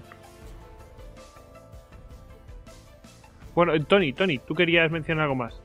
Sí, solo añadir que para más, donde se explica muy detalladamente la batalla, que lo escuché el otro día, el episodio número 3 de Zafarrancho Podcast. Ya remito a ese episodio para mayor, para más detalles. Ya sabéis que Esteban de Zafarrancho, pues eh, le encanta todo estos tipos de historias. en em, ese trata el tema este, trata Coronel, trata Malvinas y trata todo el crucero de Lenden, pues bueno, con una perspectiva mucho más desarrollada y más romántica que no nosotros. Además que él es marino de verdad, no como yo, que por ejemplo lo máximo que montase una barca al retiro. bueno, yo, mi padre hizo la mil en artillería de costa. Para mí no son barcos, para mí son potenciales objetivos. bueno, pues eh, pasamos a la batalla de la bahía de Heligoland. Eh, bueno, mm, David, esta es tuya. Pues sí, la batalla de la isla de Heligoland, que fue, digamos, el primer encuentro entre la, flota de alta mar alemana y, la flota británica. El contexto de esta batalla es eh, que digamos fue el comienzo de la guerra. Digamos que los eh, británicos empezaron a explorar la zona alemana, la zona de influencia alemana, y vieron varios defectos en el sistema defensivo. O sea, los, empezaron con submarinos a entrar por los, por los ríos, entraron en el Elba, entraron hasta Enden, entraron por Bremen, y fueron viendo el dispositivo que tenía de defensa los alemanes y vieron varios defectos. O veían que los eh, destructores pues hacían alrededor de Ligoland pues eh, zonas de exploración, pero en solitario, que no se apoyaban. Entonces el almirantazgo británico decidió hacer una acción pues como una especie de golpe de mano para llevarse por delante a estos destructores.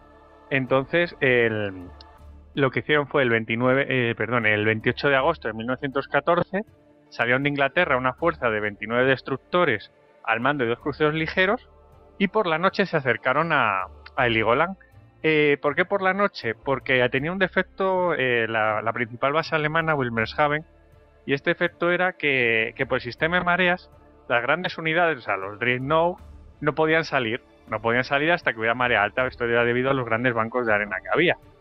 Entonces, pues directamente llegaron y cuando estaban haciendo el cambio de turno los destructores británicos los pillaron por banda. Hubo un primer destructor que entre todos lo cazaron, lo dejaron hecho a polvos, pero le dio tiempo pues a mandar un mensaje de ayuda. Von Hipper, que era el director de este sistema defensivo, lo vio y mandó que salían todos los cruceros ligeros pues a, contraatacar. ¿Qué pasa? Que en vez de mandarlos todos a la vez en escuadra, para defenderse los fue mandando de uno a uno.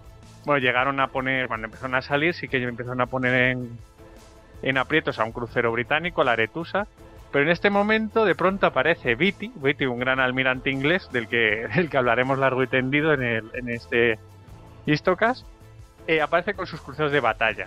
Claro, de pronto los, alemanes con sus cruceros ligeros se ven totalmente em, pues saturados por estos cruceros de batalla que tienen una artillería muy superior y mandaron al fondo al, al Maeve, al Col y al Ariadne. O sea, después de. el resultado de esta batalla fue 32 muertos por el lado eh, británico y 712 muertos por el lado alemán. O sea, como dijo Von Hipper, esto fue una bofetada en la cara de Alemania. Y el resultado fue que los alemanes aprendieron bastante de, esta acción y realmente lo que hicieron fue mejorar su dispositivo defensivo.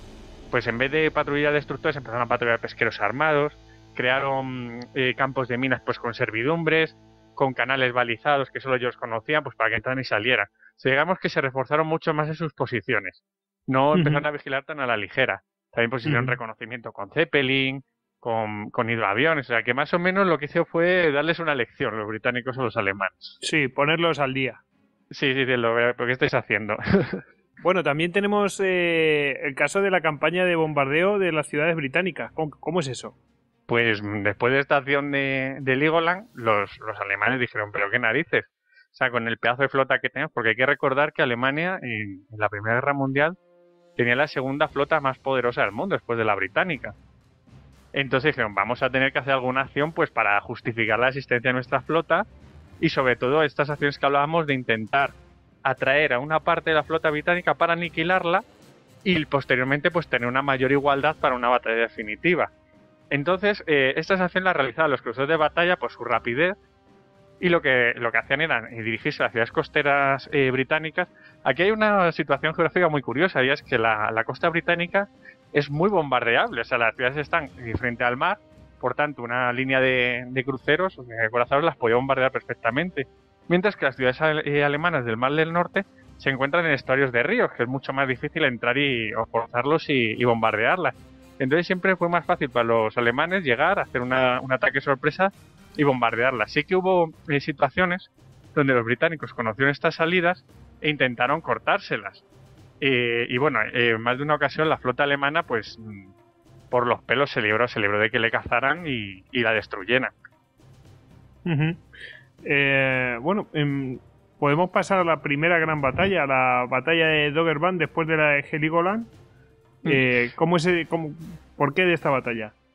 la batalla de, de Doggerbank fue una batalla, eh, te digo la, fecha exacta, que se produjo el, el 23 de enero, comenzó, bueno, la mañana del 24, salieron las flotas el día 23 y comenzó la mañana del 24 de enero, donde eh, la flota alemana, en una de estas salidas que, realizaba, se dirigía al banco de Dogger, que es un banco pesquero pues, del Mar del Norte, pues para atacar al, el tráfico pesquero y, los cruceros que lo protegían en una acción para atraer otra vez a, la flota británica para esta batalla que ellos buscaban de aniquilarla por partes. Entonces, se dirigieron al banco de Dogger, pero eh, ¿qué pasa? Que, como ya veremos en, la campaña báltica, sí que los, eh, británicos conocían las claves alemanas, entonces sabían que la flota alemana había salido y mandaron, mandaron a sus cruceros de batalla que dirigía el gran almirante Beatty. Entonces, eh, digamos que la flota alemana, que estaba compuesta por los, por los siguientes cruceros de batalla, el Der Findel, el Seilit, el Molke y el Blucher. Bueno, el Blucher realmente no era un crucero de batalla. Era una cosa rara, era un crucero eh, de estos protegidos, un crucero blindado, pero que se había diseñado cuando los británicos desearon su primer crucero de batalla y como no sabían muy bien las especificaciones, les salió una cosa muy rara. O sea, un crucero de protegido muy, muy grande. Entonces los británicos, pues, o sea, los alemanes le asignaron a la escuadra de cruceros de batalla. Grave error, como veremos en esta batalla, pero bueno. Entonces, eh, digamos que se dirigió Beatty, eh, avistó a la flota alemana, pues con sus dos escuadras de cruceros de batalla, pues iban los cruceros Lion, Tiger, Prince Royal, New Zealand e Indomitable. Entonces, en cuanto Von Hipper, que dirigía la escuadra de, de batalla alemana, les avistó, dijo, bueno, ya no tenemos sorpresa, media vuelta y se dirigió otra vez hacia sus bases. Pero claro, iba a la velocidad del barco más, más lento, que era el Blucher, que no era un cruce de batalla y notaba tanta velocidad como los otros. ¿Qué pasa? Que él en un principio creía que era una escuadra de, de Dreadnought, de, acorazados. Y de bueno, entonces podemos zafar fácilmente. Pero de pronto ve que le están recortando mucha distancia. Le recortan mucha distancia y dice, madre mía, los cruceros de batalla. Hemos, hemos breado. Exactamente. Entonces empieza, claro, empiezan a llegar, empiezan a llegar los cruceros, se les acercan, claro, el Blucher que lleva el último, este crucero protegido empieza a recibir pues todo el castigo. le pasa el Lion, el Tiger, el Princess Royal, que le van dando, le van zumbando, pero bien. según van avanzando las, unidades em, británicas, se van poniendo a la par, o sea, ya empiezan a hacer las líneas una frente a la otra. Y se van poniendo a par de las alemanas. Entonces, Beatty ordena repartir el fuego. Como hemos visto, son cinco barcos eh, británicos y cuatro barcos alemanes. ¿Qué pasa? Pues que Beatty lo que ordena es que se vayan, digamos, el fuego se vaya repartiendo, que cada uno elija su objetivo y el Lion y el Tiger pues disparen contra el Seidlitz que va en cabeza. ¿Qué pasa? Que el Tiger eh, cumple las órdenes al pie de la letra, pero no se han dado cuenta de que el, el Indomitable pues era más lento, se había quedado atrás, no tenía línea de fuego y entonces el Molke se quedó sin recibir ningún disparo. Sobrevivió, el, el Molke era un barco con mucha suerte. Sí. Tanto en esta como en Jutlandia se libró de, de recibir grandes impactos. Entonces, claro, disparó, disparó a placer. Bueno, la batalla empezó a continuar, el Blucher ya estaba totalmente, bueno, hecho polvo, le fueron pasando todos los barcos disparándole.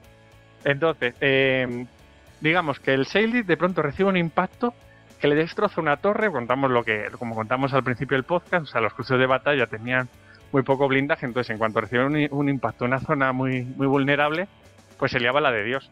Y simplemente porque un marinero pudieron incluso cerrar la, escotilla que estaba totalmente al rojo de la zona de municiones, pues pudieron salvar el barco, pero el barco en barco agua, vamos, se quedó hecho polvo.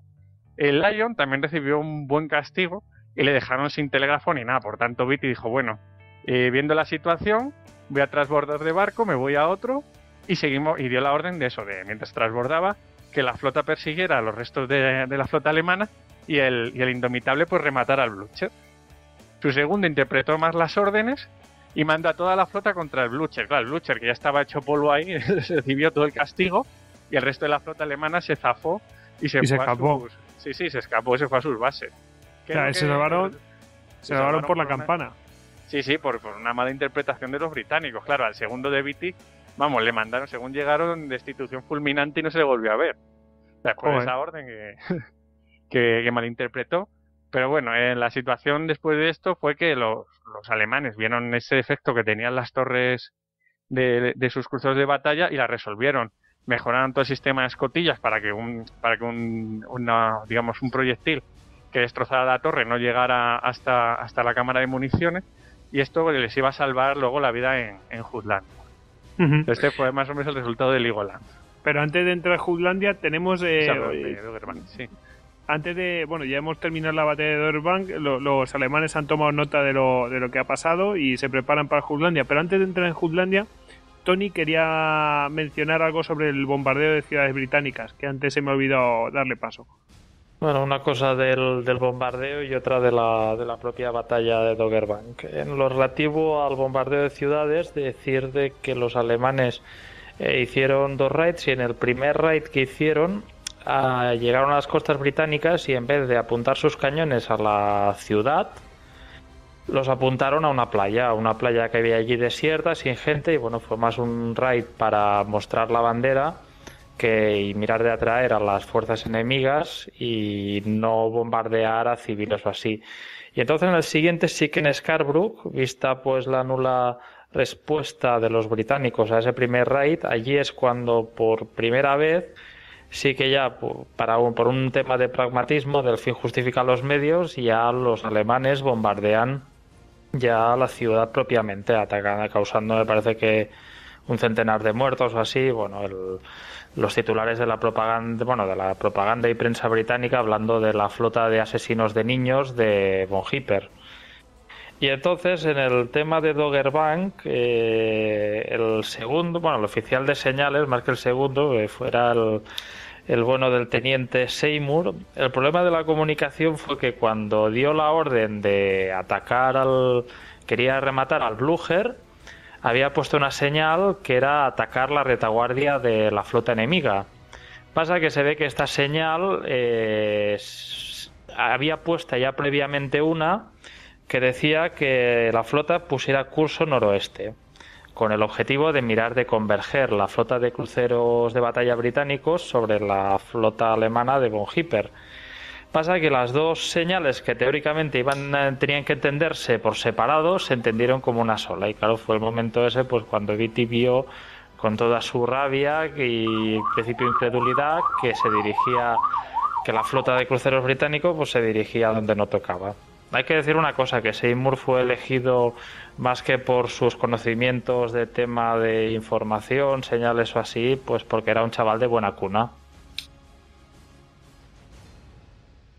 Bueno, pues nada, vamos a pasar directamente ya a la batalla de Jutlandia. Ya hemos visto las causas de, esa confusión que, dio al traste el resultado de la batalla de Doggerbank, que era clarísimamente a favor de los británicos. Y, vamos a ver esta batalla. Eh, nos pedía Corbus Corax, dice batallas en detalle, aunque eso lo pediría para, para todos los Istacas. En este, en este, por ejemplo, la maniobra de Jutlandia. Bueno, hemos hecho batallas en detalle, por ejemplo, la batalla de la Nava de Tolosa, en fin. Pero, pero bueno, que se puede hacer, por supuesto, pero nosotros queremos tratar todo lo que es la guerra naval porque hay muchos aspectos de la Primera Guerra Mundial entonces no podemos estar batalla a batalla porque si no sería, esto sería interminable, ¿no? Es que, es Finlandia es una batalla en que cada maniobra ha sido analizada al milímetro, se han escrito libros y más libros, o sea, una cosa... y además nos quedan cuatro años para detallar batallas. exactamente, exactamente. Así que no, no seáis ansiosos, que no hemos tocado a Napoleón todavía. bueno, eh, mm, David, Cuéntanos la batalla de Jutlandia. así, pues, tienes dos minutos. La voy, la voy a contar así, digamos, en fase así rápido. Luego ya Tony y Javi complementarán. A lo David. Bueno, pues la salida de Jutlandia básicamente fue, pues como estaba haciendo la, la, flota alemana, intentar atraer siempre a la británica. Entonces, ¿qué es lo que, en este caso, lo que pretendía era atacando el tráfico costero de Dinamarca y Noruega, pues atraerla. Entonces, pues otra vez los británicos sabían que los alemanes iban a salir, incluso, claro, captaron, llegaron a captar las, las conversaciones radiofónicas de los submarinos que se están apostando frente a las bases británicas para intentar torpedearlos. Total, que, que la, digamos, la táctica alemana era los cruceros de von los cruceros de batalla, por delante, intentando pues atraer hacia la, la flota principal, la flota de acorazados, la, un, digamos, un pedazo de la flota inglesa para aniquilarla. Mientras que la flota británica pues pretendía la aniquilación total de la flota alemana, o sea, hacer lo mismo, intentar con los cruceros de Witt y esta vez reforzados por un escuadrón de, acorazados eh, rápidos, pues lo mismo, o sea, atraer a, la flota alemana hacia la británica y, hundirla. Entonces, eh, la, batalla comenzó de la manera más tonta, cuando la vanguardia de cruceros eh, ligeros de ambas agrupaciones, tanto de la de Vitti como de Von Hipper, se avistaron mutuamente pues cuando iban a registrar un barco pues que pasaba por allí, un barco comercial noruego. Entonces, una vez que se avistaron, dieron el informe a sus respectivas flotas y los dos se fueron a buscar. Y entonces empieza lo que se llama la primera fase de Jutlandia o la carrera hacia el sur. Una vez que se avistan, eh, Hipper da la vuelta e intenta traer a esta fuerza eh, británica, o sea, a Vitti con, con sus con sus cruceros de batalla porque Vitti cometió un error, se dice que fue demasiado impetuoso y dio pues marcha revienta caldera solo con los cruceros de batalla, mientras que los acorazados rápidos pues se quedaron un poco retrasados, y no pudieron entrar en liza con los cruceros de batalla alemanes. Entonces aquí fue la fase en la que los británicos lo pasaron peor. Digamos que se emparejaron los diferentes eh, cruceros de batalla, empezó el intercambio artillero y fue este momento cuando de pronto el, el Prince Royal estalló por los aires. O sea, le dio uno de, estos eh, proyectiles y el defecto que hablábamos antes, que los, que los cruceros de batalla alemanes se habían resuelto, lo de las escotillas de comunicación de las torres con los, con los pañoles de municiones, los británicos pues no, no se habían dado cuenta, entonces ¿qué pasa? Que lo sufrieron. Sufrieron impactos en las torres y, primero el, el Prince Royal, eh, perdón, el, el, Queen Mary, el Queen Mary fue el que, el que, el que voló por los aires y posteriormente le pasó lo mismo al, al, Indefatigable. O sea, los dos cruceros de batalla volaron por los aires hechos pedazos. Claro, eh, aquí suelta su famosa frase de algo no va jodidamente bien en nuestros barcos. Pues estaba viendo que, los estaba perdiendo. O sea, de tener una, una abrumadora superioridad, de pronto la perdió. O sea, hubo más, llegó a haber más cruceros de batalla alemanes que británicos. Luego llegó la, la flota eh, de acorazados, pesa, eh, acorazados rápidos para reforzarle, pero en ese momento aparece la, flota alemana. ¿Qué pasa? La flota alemana ya venía formada en línea de combate para ahorrarse maniobras y entonces ya viene lo que se llama la segunda fase de Jutlandia o la carrera hacia el norte. pues nos encontramos, por un lado, los acorazados de batalla británicos con los, perdón, los cruceros de batalla británicos con los acorazados rápidos y por otro lado, pues todos los barcos, o sea, 16 Dreadnoughts con sus respectivas flotillas de destructores y de y de cruceros ligeros, pues persiguiéndoles, intentando aniquilar pues este a este pedazo de la flota británica. O sea, el cazador cazado. Eh, sí, porque corriendo hacia arriba. Exactamente, lo que Beatty estaba haciendo era atraer a la flota alemana contra la flota británica. La flota británica de Jellicoe estaba, eh, digamos, esperando, porque claro, sabía que había habido un combate y estaba esperando a la flota de Beatty. ¿Qué me ocurre? Que la flota de Jellicoe estaba distribuida de una manera extraña. Bueno, extraña, era la manera pues como de marcha, pero no de combate. O sea, estaba pues con 24 acorazados, pero estaban en, en 6 líneas de A4. ¿Qué es lo que ocurre? Cuando se acerca la flota alemana tienen que ponerse en línea, o sea, en una línea de batalla para cañonear al enemigo. Entonces, eh, llega Viti. Viti pues intenta pasarles. Entonces, eh, lo lógico es que se hubieran puesto sobre la aleta de estribor, o sea, lo que sería echarse todo sobre los acorazados de la derecha, formar la línea y, vamos, y según llegan los alemanes, eh, cazarlos y destrozarlos. Pero hicieron lo contrario, o sea, se fueron a la aleta de babor, que fue alejarse más de los alemanes, pues los alemanes llegaron allí, pues todavía seguían los cruceros de Viti, seguía, bueno, llegaron también otra escuadra de cruceros de batalla, donde también hubo otra baja británica, el Invencible, como aquel de las Malvinas, de Rodrigo. Pues sí, también había un Invencible, pero este también estalló por los aires. Y, y nada, se encuentran con esta situación hasta que ya se forma la línea británica perfectamente y hacen la maniobra de cortar la T, que es, digamos que cuando dos flotas en línea se encuentran, una le corta el rumbo a la otra, pues pudiéndoles cañonear a placer. Pues eh, Sir, el comandante alemán, al ver esto dice, pues nada, inversión de rumbo. Inversión de rumbo es darse la vuelta a todos los barcos. Entonces todos los barcos se dan la vuelta y se van. Luego no se sabe por qué. Eh, Sir hizo otro cambio de rumbo y se dirigió hacia la, flota británica, la flota alemana les ve venir y dice, les tenemos, les tenemos aquí a todos. No sabe muy bien por qué hizo este cambio de, rumbo. Se supone que se pensaba que él mismo podía cortar la T a, a los británicos. Bueno, la cosa es que debió ser muy defectuoso el reconocimiento alemán porque no, no sabía muy bien dónde estaba. Total, pero viendo la situación dijo, oh", dice, vámonos de aquí. Y dio un tercer cambio de rumbo y otra, otra inversión y se largó. Pero para realizar esta inversión con seguridad, porque ya se encontraba al alcance de los cañones británicos, lo que hizo fue mandar a todos los, los cruceros de batalla en una carga épica como en plan al abordaje. Entonces, de todos los cruceros de batalla que hemos hablado, que habían recibido todos los impactos que están hechos polvo, creo que el Seilith, por ejemplo, llevaría una torre solo eh, capaz de, cañonear, o sea, están destrozados. Y los mandó una carga épica contra la línea británica, que les cañonearon mucho más. Pero bueno, eh, más o menos pudieron, pudieron salir porque luego Chile les dio la orden a los cruceros de que, de que se largaran de allí.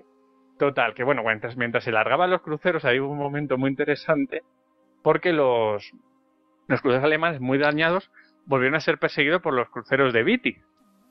Pero una línea de, digamos, una escuadra de, de acorazados Predregnov, que eran los, los los acorazados antiquísimos, de esos de, de, las batallas de Tsushima y tal, lo de Rodesvesky. Sí, Rodesvesky, eh, nuestro, nuestro amigo.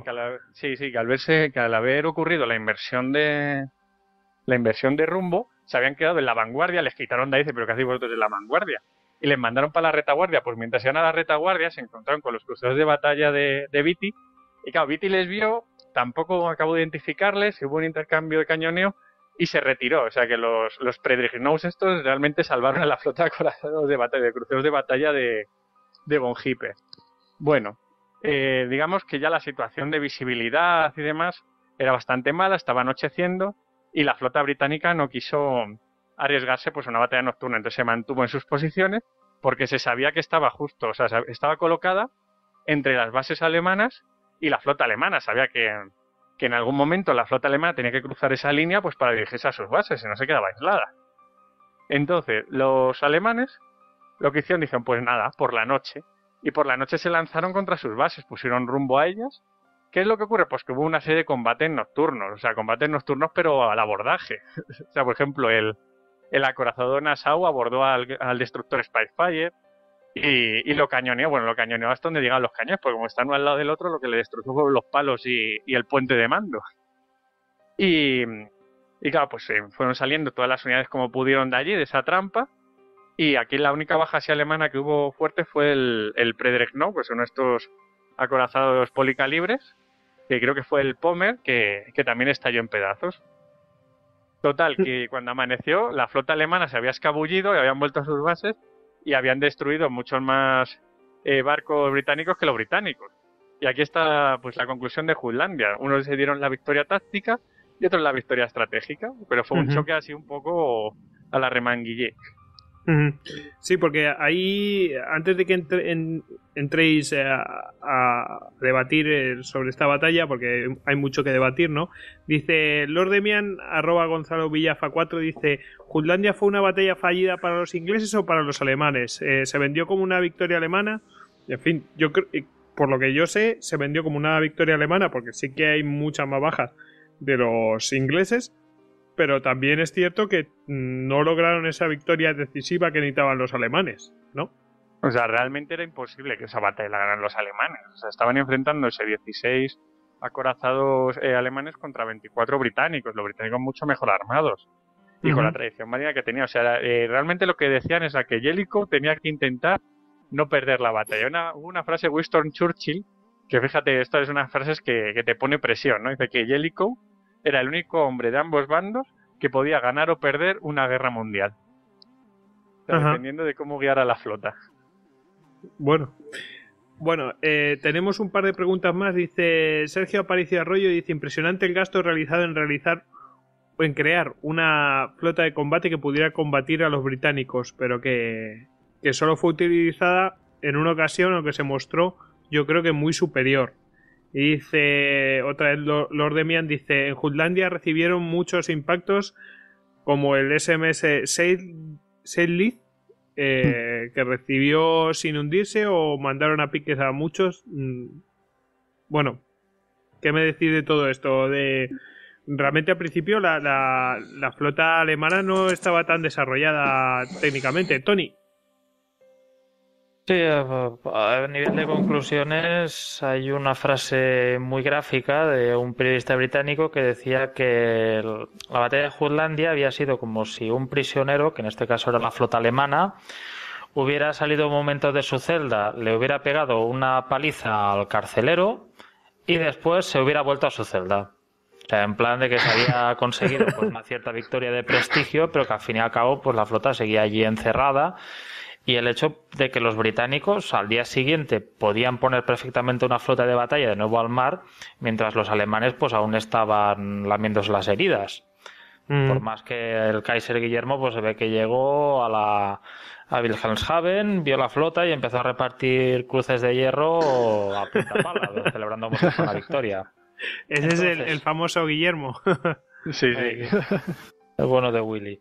Entonces, a nivel de bajas, los británicos perdieron, mm, perdieron de muertos 6.094, 674 heridos y 177 prisioneros de guerra, mientras que los alemanes tuvieron 2.551 muertos, 507 heridos y en su caso, pues no se halló prisioneros de guerra. No salen aquí al menos registrados. Sí, fue, a ver, eh, fue la gran, el gran choque de acorazados de esa guerra, pero lo dicho, una, una lucha inconcluyente. El- al final, quizá fue una victoria táctica para los alemanes, pero al final fue una victoria estratégica para, para los británicos, porque consiguieron lo que querían, tener la flota alemana encerrada y sin que pudiera salir. Entonces, Eh, decir también de que la maniobra esta que comentaba David, de que, bueno, perdón, la maniobra en que los buques alemanes cambiaban de sentido, tiene un nombre muy alemán que es la Gefechtskehrwendung. Era tan Claro. alemán que creo que los ingleses ni lo contemplaban en sus manuales marítimos, lo veían como algo suicida.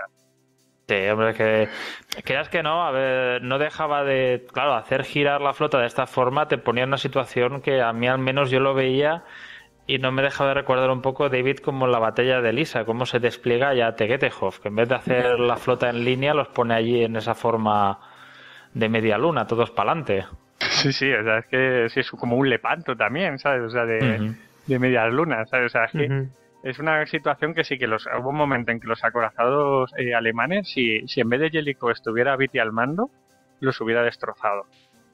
Los hubiera, los hubiera pillado, los hubiera cruzado la T y hubiera sido eso el Trafalgar total, o sea, hubiera sido una cosa tremenda. Bueno, eh, Javier quería comentar, Javi. Sí, yo quería abundar un poquito en el aspecto estratégico, porque una de las eh, causas que se han esgrimido a menudo para el inicio de la Primera Guerra Mundial fue precisamente este programa naval alemán. Eh, bueno, eh, Inglaterra, el Reino Unido siempre había mantenido una norma naval que era el Two Power Standard, es decir, eh, su flota tenía que ser superior a las dos siguientes en potencia.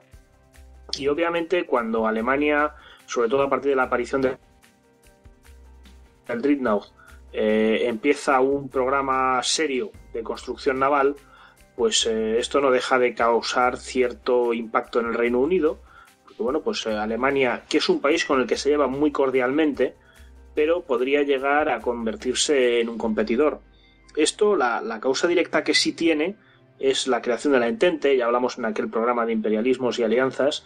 Eh, bueno, pues esto lleva a ciertos acuerdos de Alemania, de, perdón, del Reino Unido con Francia y a un acercamiento de estas dos potencias coloniales, porque bueno, pues el Reino Unido ve que no va a poder mantener ese Two Power Standard si se lleva a cabo el programa de construcción alemán, pero por otro lado, eh, sí hay que, hay, que, hay que dejar claro que Alemania nunca tuvo la capacidad para superar a la flota británica. Es decir, eh, es verdad que la aparición del Dreadnought pues eh, casi pone a cero, lo pone todo en punto de partida, porque es un acorazado, es un buque tan, tan espectacular y tan innovador y tan perfecto con respecto a los que se habían fabricado antes, que las flotas empiezan, las flotas se empiezan a medir por el número de dreadnoughts, pero sí es verdad también que por mucho esfuerzo que dedicara Alemania a construir barcos, Alemania seguía siendo una potencia continental que tenía que repartir su presupuesto militar entre la Marina y el ejército, el que defendía sus fronteras. Entonces, en ese sentido, aunque Alemania tuviera un poquito más de capacidad de producción que el Reino Unido en ese momento, entre 1905 y 1914, lo cierto es que el Reino Unido puede dedicar una cantidad de su capacidad de producción muy superior a la Marina y de hecho es lo que van a hacer. Es decir, eh, el, ritmo de construcción alemán no supera, o sea, no va a conseguir superar en ningún momento el ritmo de construcción de los británicos, con los cuales pues llegamos, con lo cual pues llegamos a 1914 con dos flotas muy muy equiparadas, o sea, muy diferentes y con una clara superioridad británica. De ahí nace un poco la, estrategia de la, de la Hochsee Flotte, de la flota de alta mar alemana, ¿no? que lo que busca, pues primero es tratar de destruir eh, a la flota británica por trozos, y luego, pues como lo que nos pasa un poco en Junlandia, ¿no? Eh, cuando se enfrentan a una auténtica batalla naval, pues como habéis ido comentando, puede que la victoria táctica fuera alemana porque eh, consiguieron eh, pues hundir unos cuantos barcos más y causar algo más de daño, pero a la, marina alemana le entraron auténticos sudores fríos solo de pensar lo que hubiera podido pasar si hubiera habido una batalla, o sea, si esa batalla se hubiera llevado hasta sus últimas consecuencias, es decir, si hubiera mantenido la situación de batalla durante el tiempo necesario para que los acorazados se aporrearan hasta hundirse mutuamente y, eh, bueno, pues se hubieran quedado sin flota se hubieran quedado sin flota, que además era el, arma fundamental eh, de cara al bloqueo británico. Es decir, si en algún momento Alemania podía eh, plantear algún tipo de tensión naval contra el Reino Unido, era por la mera existencia de su flota, es lo que se llama la teoría de la flota en potencia. O sea, era la mera existencia de su flota la que presionaba y la que dificultaba todo ese bloqueo. En el momento que hubiera desaparecido la flota alemana, eh, pues el bloqueo se hubiera cerrado del todo y, poco hubieran podido hacer ya los alemanes, exceptuando la guerra submarina de la que ya hemos hablado. No, por esto yo creo que, la batalla de Jutlandia es un fracaso estratégico espectacular para la flota alemana porque realmente lo que hace es certificar que ésta es incapaz de deshacerse de la Home Fleet, eh, que todas sus añagazas para intentar cogerla a cachos han fracasado durante 1915-1916 y que eh, pues en el momento de hacer una gran batalla, de llevar a cabo una gran batalla, pues tampoco tienen la capacidad para, derrotarla y mantener esa superioridad. ¿no? Entonces yo creo que es el, la conclusión de Jutlandia desde mi punto de vista es esa. La flota alemana ha fracasado y a partir de aquí, pues eh, de hecho es a partir de aquí cuando ya se empiezan, luego me parece que hablaremos un poquito más del Lusitania y es cuando ya se empieza a hablar de, de, la guerra submarina y, bueno, pues la flota de superficie va perdiendo importancia en el aspecto estratégico naval alemán. La verdad es que lo de la flota en potencia es importante, porque si no tenemos un Trafalgar, ¿no? Otra vez, un Trafalgar. Fíjate que la, flota en potencia, por ejemplo, permitía que todas las escuadras de destructores que tenían, tenían que estar con la flota principal no estuvieran haciendo la guerra antisubmarina en las rutas comerciales. Así que tenían fijada un gran número de unidades de la, de la Royal Navy en Escapazo que en otro caso podían estar en otros teatros de batalla, como el Mediterráneo, o pues ya te digo, las líneas comerciales protegiéndola. Y no fue hasta la llegada de los norteamericanos, cuando entraron en guerra, que pusieron a su disposición los, los destructores para, para intentar un poco llevar a cabo una lucha antisubmarina más, más competente. Bueno, eh, ¿tienes algo más que añadir, David? Que antes me habías pedido la palabra. Sí, no, era, era eso, prácticamente lo que decía Veramendi, lo de, lo de que el Dignote dejó, dejó a cero los contadores y por tanto los alemanes sí que hicieron peligrar, le hicieron peligrar tanto que incluso antes de la guerra mundial eh, los, los, el almirantazgo británico se planteó hacer un, como en Copenhague, o sea, como hizo Nelson en Copenhague, o sea, atacar a la flota alemana sin mediación de declaración de guerra, simplemente para hundirla porque se sentía amenazada por ella. O sea, que sí que, que el Dreadnought fue como un factor que dijo, hostia, es un arma de doble filo, hemos inventado un barco genial, pero es que ahora todas las maneras se ponen el contador a cero. Y alguna nos puede alcanzar. Sí, sí, es un... Eh, eh, un ataque preventivo hubiera sido. Y bueno, es que es, es, un cambio tecnológico, pero es que si no lo hago yo, lo van a hacer los demás. O sea que. Sí, sí. Pero esto pasa mucho. La, la suerte es que lo inventamos nosotros primero, ¿no? En fin. En el siglo XIX, en algún momento, hasta que Italia se convirtió en la primera potencia mundial con estos cambios tecnológicos. bueno, pues nada, vamos a pasar a, a, a lo que antes mencionaba Javi, muy rápidamente a la guerra total porque el 7 de mayo de 1915 en las costas de Irlanda pues se hunde el Lusitania, que era un, un barco de pasajeros, lo que llamaríamos un transatlántico, ¿no? Si no me equivoco. Y, y vamos, eh, claro, eso causó un, un, tremendo estupor en la opinión pública, tanto de Inglaterra como de, de Estados Unidos. Y bueno, prácticamente hizo que entrara Estados Unidos en la, en la guerra, aunque por ahí he, le, he leído que hubo un incidente eh, con México en el cual, pues, eh, bueno, más que con México, que es que los alemanes estaban instigando a que México entrara en guerra contra los Estados Unidos, porque es que en realidad Estados Unidos estaba manteniendo logísticamente a los a los británicos eh, y económicamente también los mantenía, con lo cual dice, joder, nos están haciendo perder la guerra a estos estadounidenses y, y al final van a entrar eh, propiamente en la guerra. Y estamos teniendo incidentes diplomáticos por el tema de el hundimiento de, de sus de sus barcos y tal y encima la bolsa apuesta directamente por porque eh, los, eh, los británicos van a ganar la guerra, con lo cual eh, si tienen que entrar del lado de alguien en la guerra va a ser del lado de los británicos, porque si no perderían dinero. Entonces, bueno, pues buscaban un aliado ahí, eso lo descubren los ingleses, descifran el mensaje que habían recibido los, los mexicanos se lo pasan a los estadounidenses y claro, eso ya era inaceptable. Estaban provocando que otra nación entrara en guerra contra Estados Unidos, con lo cual finalmente entran en guerra con Estados Unidos y bueno, ya es la guerra total en, en, en los mares. Eh, como Javier Benamendi eh, nos ha mencionado antes, pues ya se utiliza todo tipo de, de armamento en el mar, bueno, pues eso, eh, Javi, si quieres mencionarlo, cualquier medio antisubmarino, ¿no? Para hacer frente a los submarinos alemanes. Sí, cualquiera. Bueno, realmente los, los grandes medios antisubmarinos eh, van a ser, bueno, ya hemos comentado los buques Q, que hundieron 13. Eh, el, el, medio fundamental van a ser las, las, las minas, o sea, la mayoría de los submarinos se van a hundir a causa de las minas. Eh, luego, de, justo por detrás, van las cargas de las minas. Las minas submarinas se cobraron 43. Las cargas de profundidad, a partir de 1917, eh, se cobraron 34. Eh, los eh, submarinos cazasubmarinos, que es un tema del que no hemos hablado, luego si queréis le damos un repasillo, se cobraron 19. Y los aviones, que no fueron demasiado útiles, bueno, hostigaban a los submarinos, es decir, los obligaban a sumergirse, pero sí se cobraron cuatro, cuatro submarinos. Pero bueno, volviendo, volviendo a Lusitania, yo voy a ceder la palabra a Luis de la Sierra, el cual se la cede a su vez a Walter Schwieger, que estaba a bordo del U-80, eh, que estaba a bordo del submarino que lo torpedeó, ¿no? Y este hombre cuenta, dice, estábamos cerca del canal de San Jorge, había mar gruesa. Una espesa niebla nos dejaba pocas esperanzas de poder atacar a barco alguno, y, con semejante tiempo, un torpedero podía venirnos encima antes de que nos diéramos cuenta. Nos sumergimos, y una hora y media más tarde oí el ruido de unas hélices que no podían ser de ningún torpedero. Subí a diez metros de profundidad para echar una ojeada por el periscopio. un gran crucero acorazado acababa de pasar sobre nosotros y se alejaba a toda velocidad. Comprobé que la niebla era menos espesa, pudiéndose distinguir el azul del cielo. Vine a superficie y continué nuestro viaje a Wilhelmshaven. Poco después avisté un verdadero bosque de palos y chimeneas, lo que me hizo pensar que tendría que habérmelas con varios barcos. Pero más tarde vi que se trataba de un gran vapor que venía hacia nosotros y me sumergí con la esperanza de poder atacarlo. Al llegar a, a unas dos millas de nosotros cambió de rumbo. Aunque navegábamos a toda velocidad, nunca hubiese podido pensar que, sin esta maniobra suya, llegaría a quedar tan cerca.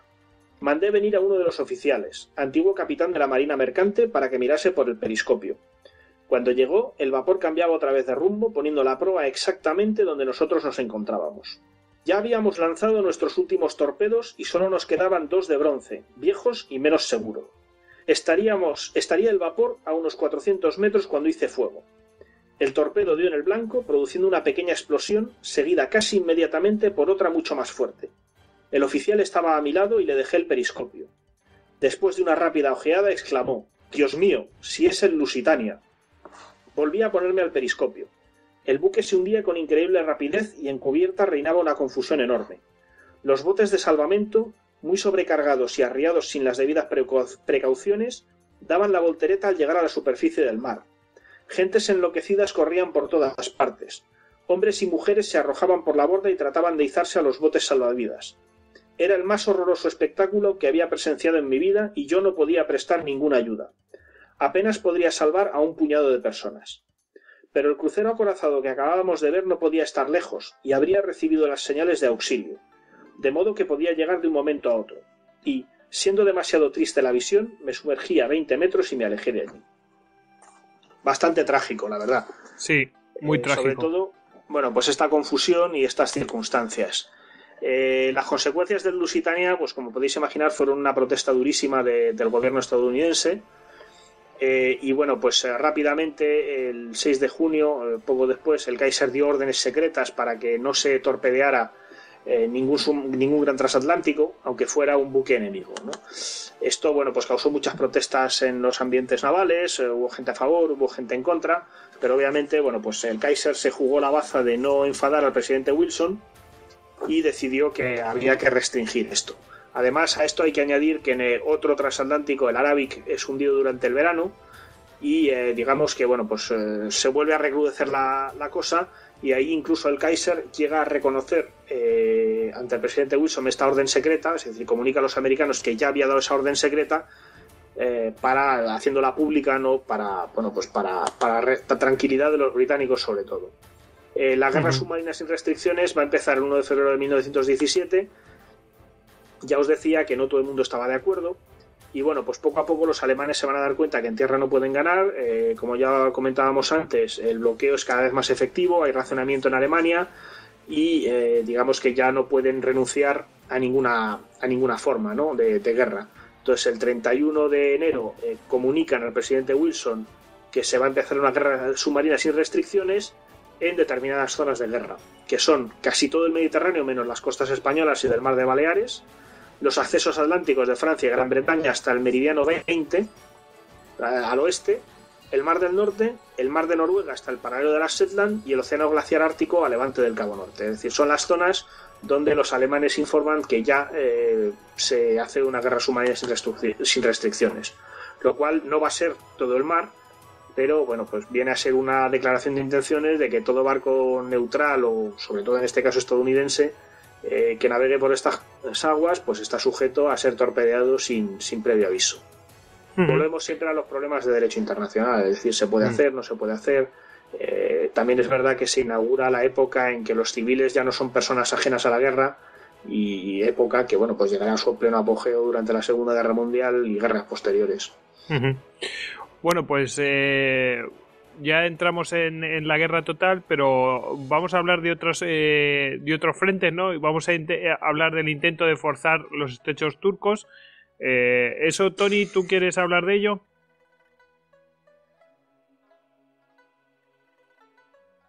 ¿Tony? Sí, ah, Bueno, puedo comentar alguna cosilla. A ver, eh, todo el tema de los techos turcos nos lleva también a la entrada de Turquía en la guerra. Entonces, Turquía en su momento, previamente a que empezara la guerra, tenía encargados uh, dos dreadnoughts a la flota, bueno, a, astilleros británicos. Entonces, estos dreadnoughts, eh, junto con dos otros dreadnoughts que había encargado la Marina chilena, cuando empezó la guerra, los británicos se aferraron a un punto del contrato de construcción de estos de estas naves que les permitía requisarlas eh, si había un si Gran Bretaña entraba en guerra. De forma pues que así conseguían unos dreadnoughts adicionales a los que ya tenían.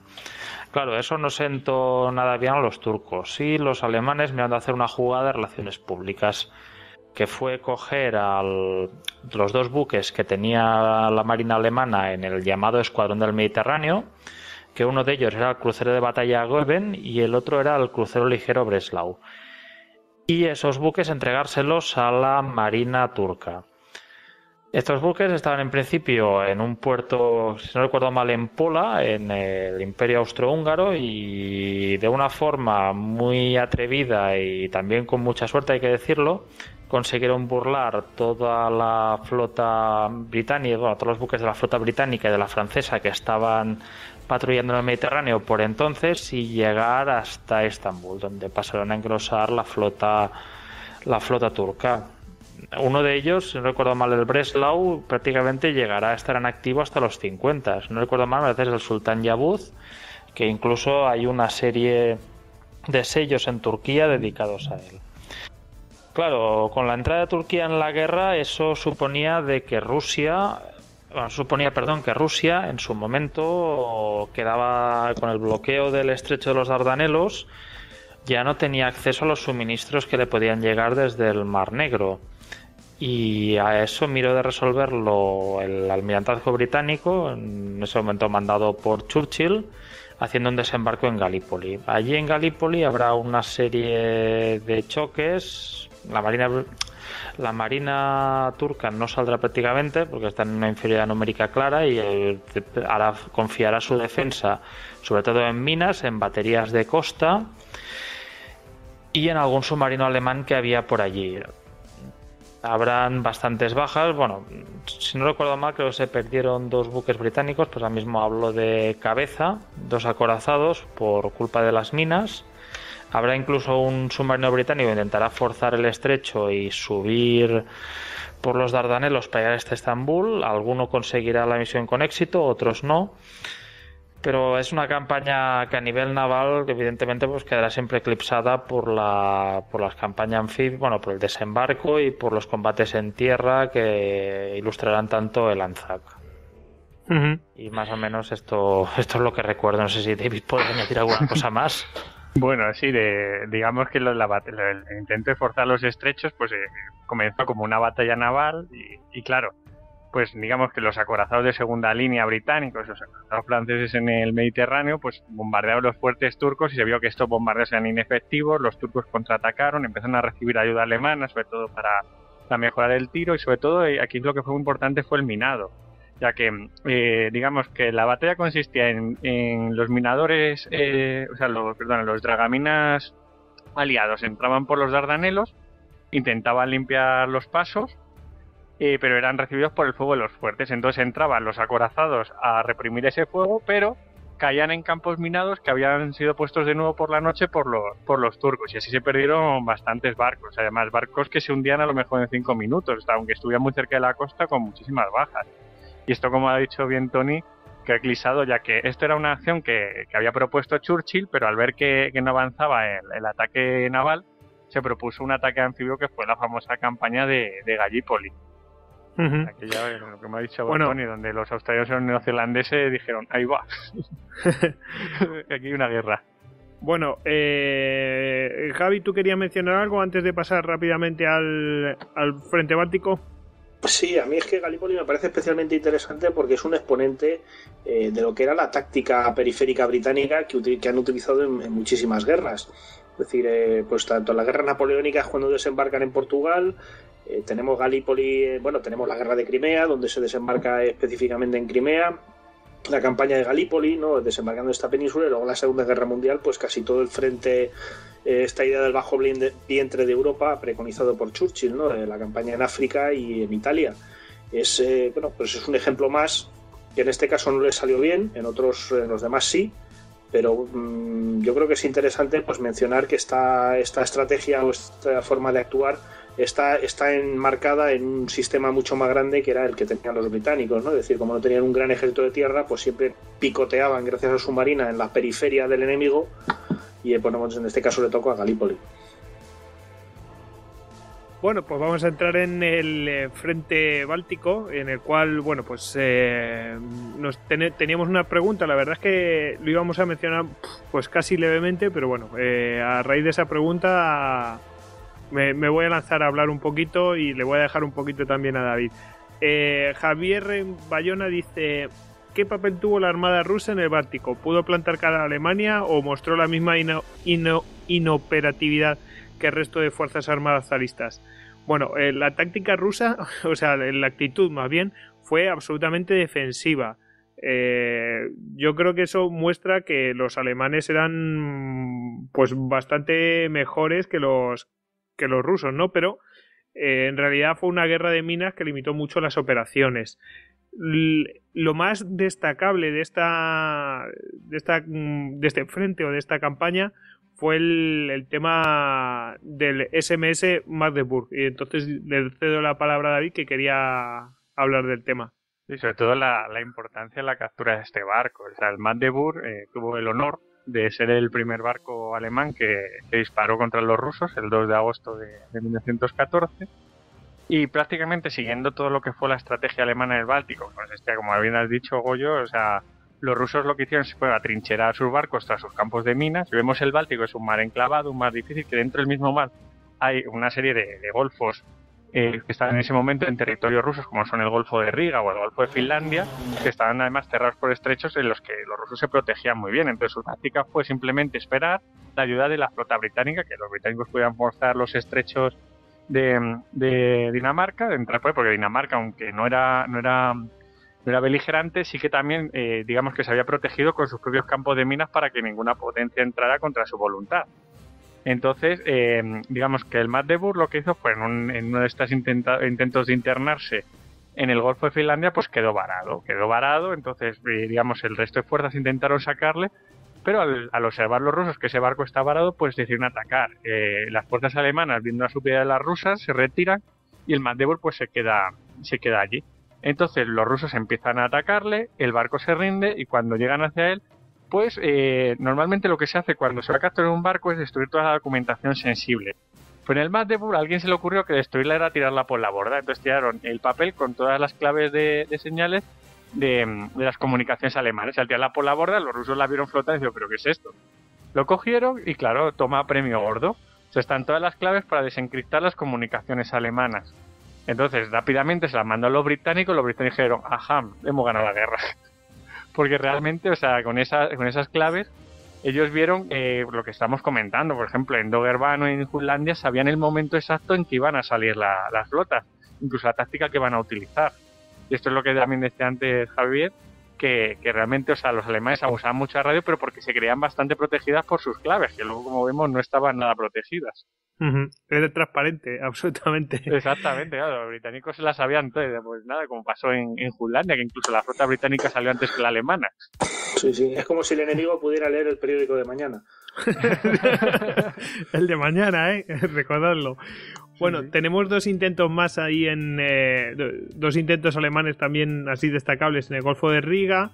Eh, el primero en 1915 fracasa y el de octubre de 1917 sí que le fue bastante más exitoso, donde tomaron varias islas del Golfo de, Riga y aprovechando que habían tomado ellos la ciudad y que salían los barcos rusos así en desbandada del, puerto de Riga, pues, eh, pues empezaron, eh, empezaron a atacar a los, a los barcos eh, rusos y bueno, como así destacable, pues decir que se hundió el acorazado ruso eslava. Eh, bueno, y es que no hay mucho más que destacar de este frente. Bueno, decir que los rusos sí que obtuvieron también éxitos, porque con su guerra de minas se supone que sembraron el Báltico con casi 50.000 minas y se llevaron por delante una cuarentena de barcos alemanes. O sea que, que su guerra pasiva le hizo daño a Alemania. De hecho, les hizo una. Les hicieron una guerra, pues casi de guerrillas, ¿no? Así de un incordio, ¿no? Una guerra mauriñista.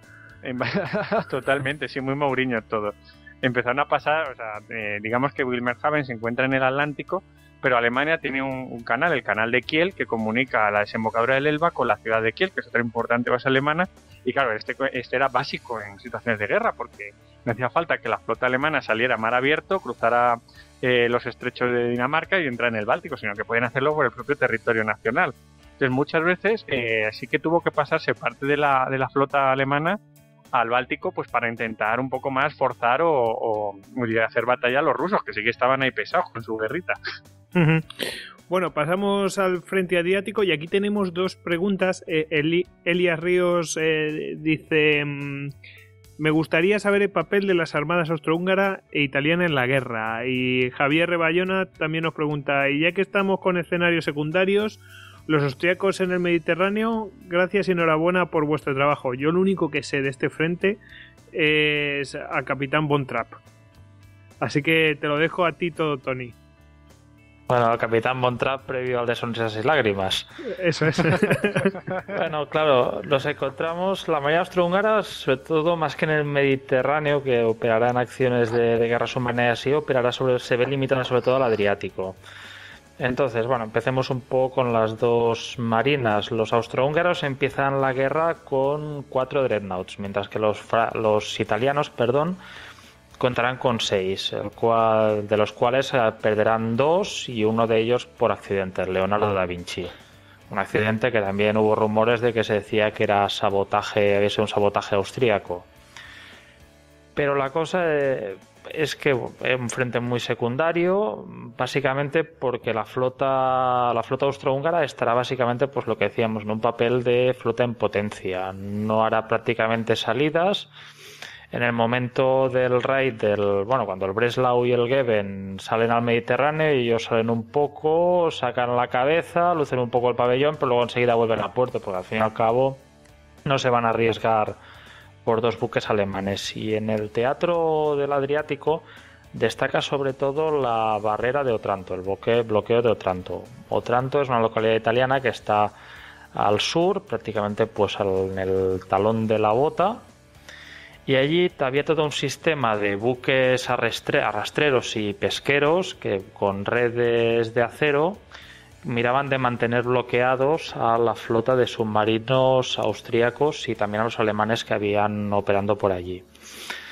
Entonces, eh, para mirar de evitar de acabar con este bloqueo, hay una serie de acciones por parte de la Marina austríaca, siendo la más destacada el raid que tendrá lugar la noche del 14 al 15 de mayo de 1917, cuando tres cruceros austrohúngaros, el Novara, el Helgoland y el Saida, y dos destructores, el Seppel, el Balatón y tres submarinos, atacan a los pesqueros que hay allí, hundiendo 14 y dañando 4 más.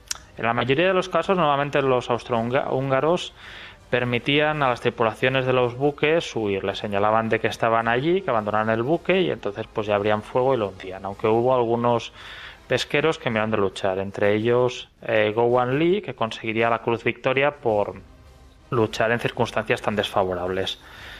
Entonces a las 7 hay un, destructor italiano, el líder de flotilla Mirabello, que con unos destructores franceses, el comandante Revier, el Bison y el Cimeter, eh, interceptan la fuerza austrohúngara. Pero como están en una posición de inferioridad artillera, deciden más que nada dedicarse a seguirla. A las 7.45 habrán dos cruceros británicos, el Dartmouth y el Bristol, y cinco destructores italianos, que mirará, encuentran aislados los destructores Seppel y Balaton y miran de atacarlos.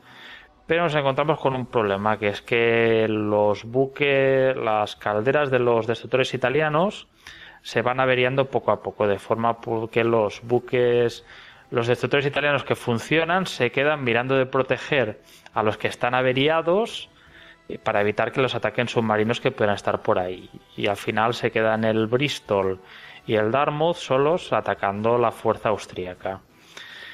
El Novara quedará averiado, pero entonces se acerca una fuerza de refuerzo húngara, bueno, húngara, perdón, con el Sangeor por delante, que obligará al almirante Acton, que es quien mandaba a los buques británicos, a huir. La única baja que prácticamente tendrá es, eh, bueno, el Dartmouth posteriormente será atacado por un submarino alemán, el UC-25, que lo dejará seriamente dañado, pero no lo llegará a hundir y uno de los destructores franceses que había por la zona, el Butefort, eh, quedará dañado. Entonces, la marina, sobre la marina austrohúngara propiamente, me queda para un podcast, porque fue una marina que prácticamente desde el principio tuvo que luchar contra toda clase de circunstancias, como por ejemplo el hecho de que todo programa, el presupuesto naval austrohúngaro tenía que aprobarse tanto por el Parlamento austríaco como por el Parlamento húngaro.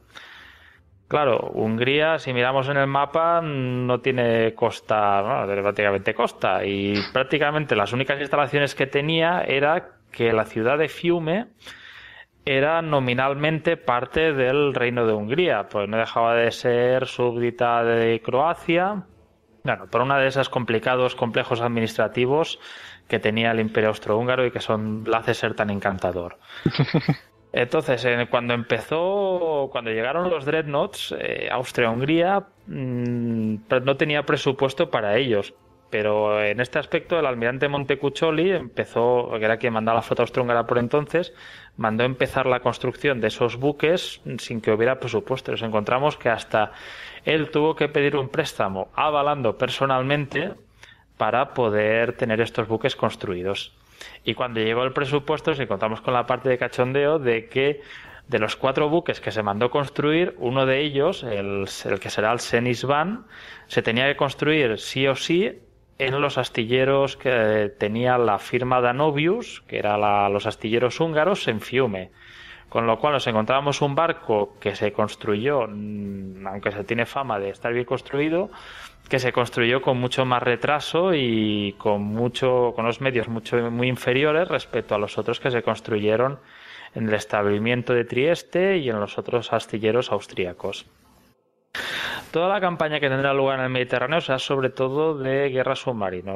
Teníamos lo que hablábamos, el, al capitán Von Trapp hundiendo el, el crucero blindado francés, el León, León Gambetta, Posteriormente, poniéndose al mando de un submarino francés capturado, el Marie Curie, que si no recuerdo mal será el UC-14, para seguir haciendo sus raids burlando el bloqueo de Otranto.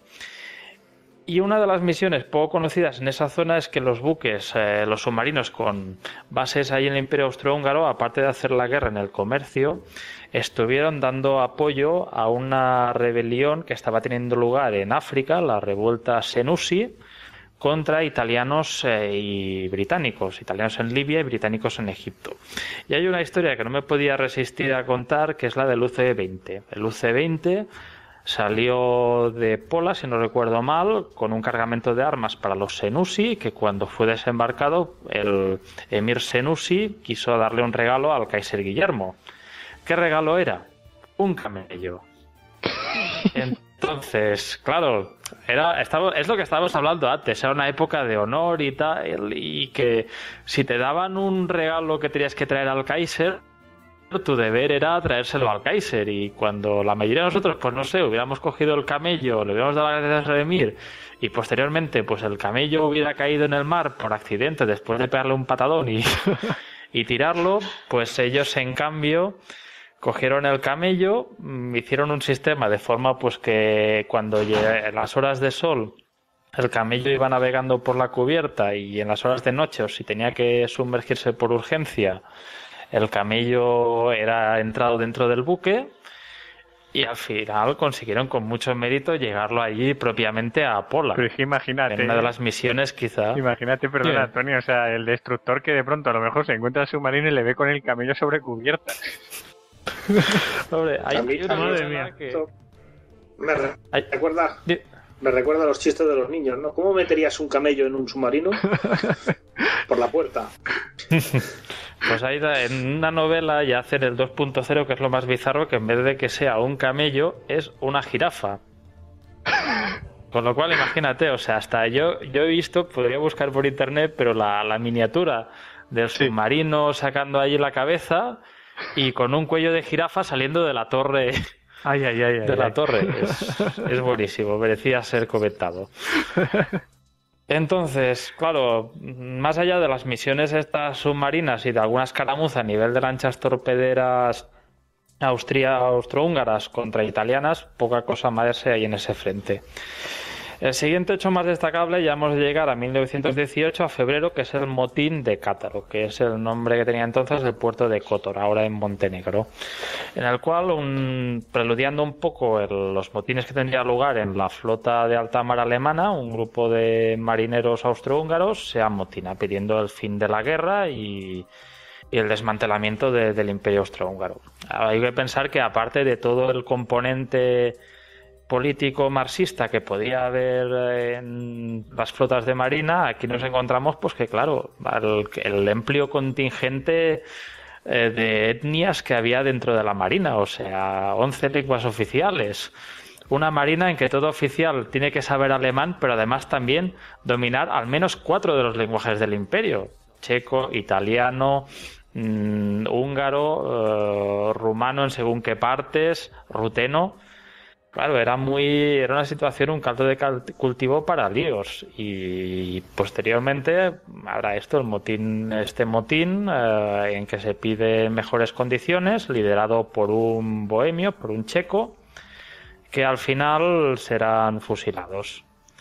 Entonces ya llegamos al final de la guerra, en que pre antes de la rendición, el que está, el almirante que está armando por entonces, Miklos Horthy, decide montar un, un raid, al menos para enseñar la bandera, atacar los buques de Otranto con, con sus acorazados y saca pues, los mejores buques de la flota. Ya es la primera, bueno, no sea la primera, pero la vez más destacada, pues que el Viribus Unitis, el Senisvan, los acorazados de Dreadnought de clase Tegetehov sacan, salen de puerto. Lo que pasa es que el pequeño problema es que se encontrarán allí con dos lanchas patrulleras, bueno, con dos más, los motoscafo antisotomergible, los torpederos italianos que los están esperando. Ahí concretamente el más 15 mandado por el capitán de fregata Luigi Rizzo y el más 21 mandado por el guardamarina Armando Gori que atacan allá a la flota austrohúngara.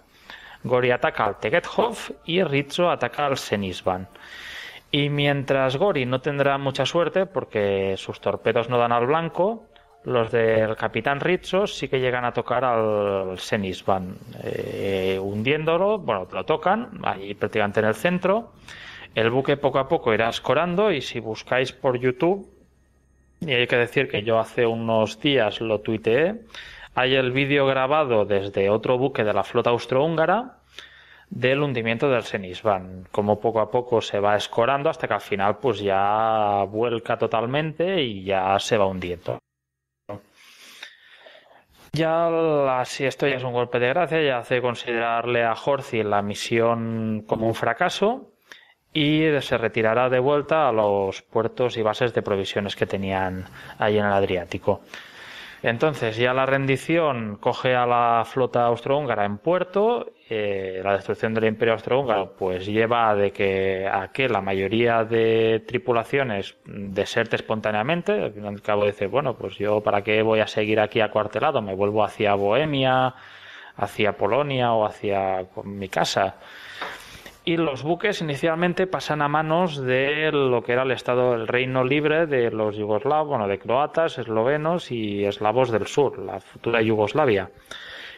Pasa que eh, había otro, otra potencia, bueno, los italianos no lo ven con buenos ojos, claro, de repente se encuentran de que el Reino de Yugoslavia tiene una flota capaz de competir con la, con la suya y empiezan a lanzar una serie de operaciones ofensivas para ir tomando los puertos, mirar de requisar los buques austrohúngaros e incluso hay una misión en que un par de submarinistas eh, de la propia Regia Marina atacan eh, con un lo que se llaman los torpedos humanos, mm, con un torpedo llevado a mano, bueno, llevado conducido por dos submarinistas contra el contra el, buque principal estrella.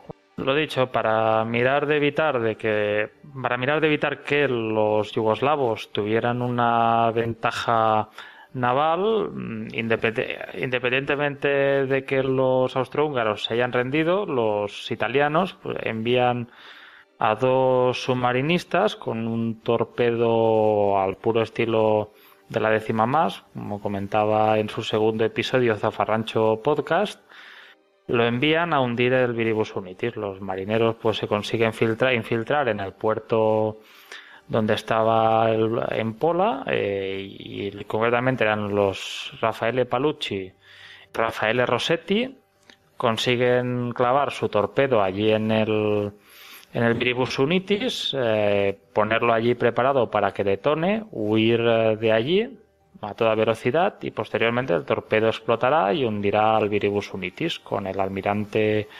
Bukocic a bordo. Y aquí pues ya nos encontramos el final de la, de la manera austrohúngara que gradualmente se irá repartiendo entre los diferentes contendientes en las conversaciones de paz. Y aquí podemos cerrar el frente del Adriático. Eh, la verdad es que no sé, David, si, si entrar directamente en el Índico y el Pacífico o prefieres hablar de los raids de Zeebrugge y Ostende. Si quieres, eh, hacemos un momento el raid rápidamente, un poco para poner eh, lo que significó. O sea, Zeebrugge y Ostende son dos localidades belgas de la costa del canal y tienen su importancia porque cuando hubo la ofensiva de los primeros años de guerra, la ofensiva alemana, fueron los dos puertos pues más al sur que, que consiguieron capturar. ¿Qué pasa? Son puertos eh, pequeños, no son puertos para albergar grandes unidades de acorazados, de, cruceros. Entonces sí que albergaban, eh, pudieron albergar pues una fuerza submarina, una fuerza submarina que se dedicó en exclusiva pues a atacar el tráfico que había entre Gran Bretaña y la costa francesa, que era el tráfico que sostenía todo el ejército británico en, el frente occidental. ¿Qué pasa? Que este era como una espina clavada en, en Gran Bretaña, o sea, tenía sus mercantes y cruzando constantemente para llevar suministros y una flota que se encontraba muy cercana pues de submarinos que ponían minas, eh, destructores que hacían ataques nocturnos, pues que les estaban fastidiando bastante. Claro, los, británicos pues eh, debieron destinar bastantes unidades pues a, combatir a estas escuadras. Pues, mandaron sobre todo destructores, eh, se construyeron monitores para bombardear las costas belgas, los monitores que son pues como los de la guerra civil norteamericana, o sea, barcos de muy poco fondo, muy poco calado, y muy bien artillados, pues que bombardeaban y machacaban la, costa flamenca. Entonces, ¿qué es lo que ocurrió? Pues eh, lo que se pretendió es embotellar estos puertos. Estos puertos, los vemos en la fotografía aérea, eh, más que puertos realmente son la salida de canales de, la zona interior de, Bélgica, concretamente de Brujas. Entonces, eh, de hecho significa el puerto de Brujas. Entonces, eh, lo que se pretendió es con buques antiguos, buques sin ningún uso militar válido, pues intentar hundirlos y, cerrar el acceso a, de, submarinos y destructores a estos puertos, pues eso, embotellándolos y no dejando que salieran y atacaran el tráfico británico. Entonces se llevó a cabo una operación, un raid, pues eh, con varias unidades ya un poco pasadas y sobre todo el que destacar el, ataque a, a el ataque a Ostende, digamos que fracasó porque no lograron hundir los barcos en las zonas eh, eh, previas, o sea, previstas para poder cerrar el canal, pero el de Zeebrugge fue espectacular ya que una fuerza eh, eh, de marines asaltó el muelle exterior, una fuerza que había convertido el barco, el, creo que era el, Vindictable, eh, la había convertido en una trinchera, o sea, había instalado lanzallamas, lanzagranadas, cañones, y asaltó como, pues, un asalto de trincheras, pero desde un barco, el muelle, un submarino voló, o sea, la tripulación del submarino eh, puso un submarino cargado de, explosivos y voló el puente de acceso a este muelle, dejándolo aislado y, claro, dejándolo en poder prácticamente de los Royal Marine que lo asaltaron. Y mientras tres eh, naves se internaban en el puerto de Cibru, llegando hasta el canal para hacerla, para volarlas y eh, taponarlo. ¿Qué es lo que ocurrió? Pues estas naves se vieron sometidas a mucho fuego artillero. Una de ellas, pues le enredó en la hélice con, con las redes antisubmarino empezó a perder potencia, le empezaron a dar más caña y tuvieron que hundirla un poco antes. Las otras dos sí que se pusieron en una situación que pudieron embotellar el puerto, pero esta tercera no pudo cerrarlo del todo. Entonces fue, mm, digamos, algo, digamos, mm, eh, no fue del todo un éxito, pero sí que obstaculizó bastantes operaciones alemanas, ya que los barcos sí que cuando había marea baja tenían que esperar un poco o hacer o maniobrar. Cuando llega un barco averiado, pues obviamente tenía que esperar fuera hasta que llegara la marea alta y poder remolcarlo dentro. Entonces, lo, curioso de esta acción es que fue una de las acciones donde más, más medallas se repartieron. Se repartieron aproximadamente unas, unas 200. O sea, una, eh, seis medallas por cada minuto de la acción. ¿Pero por parte de quién? ¿Por parte de los ingleses eh? o, de, o de las de Guillermo? No, no, fueron de las de los partes de los británicos, ya que ah, fue una acción, fue un raid de intentar taponar los puertos. No hubo mucho éxito, entonces en las fotos aéreas, que son muy accesibles en internet, se puede ver cómo quedaron los barcos.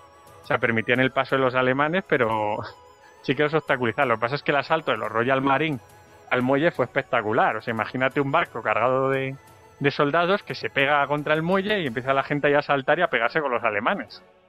O sea, fue una cosa tremenda. Pues como antiguamente, ¿no? Los, tercios embarcados, los, tercios un de... abordaje en toda sí, sí, sí, sí, al muelle. A la galana. Entonces sí, que, aquí, o sea, lo que fue la guerra de Flandes, que fue como una guerra aparte entre las dos marinas, o sea, con unidades, digamos, más, más, más pequeñas o más especializadas, que venía llevándose toda la guerra y que, fue muy fastidiosa para el Imperio Británico. Ese fue el Reich. Bueno, pues vamos a pasar a un par de frentes que son completamente distintos. Entonces, si queréis, eh, mm, tenemos aquí un par de preguntas que no sé si vos, que si tenéis respuesta vosotros, alguno de vosotros. La primera es de Jordi Valera Muñoz.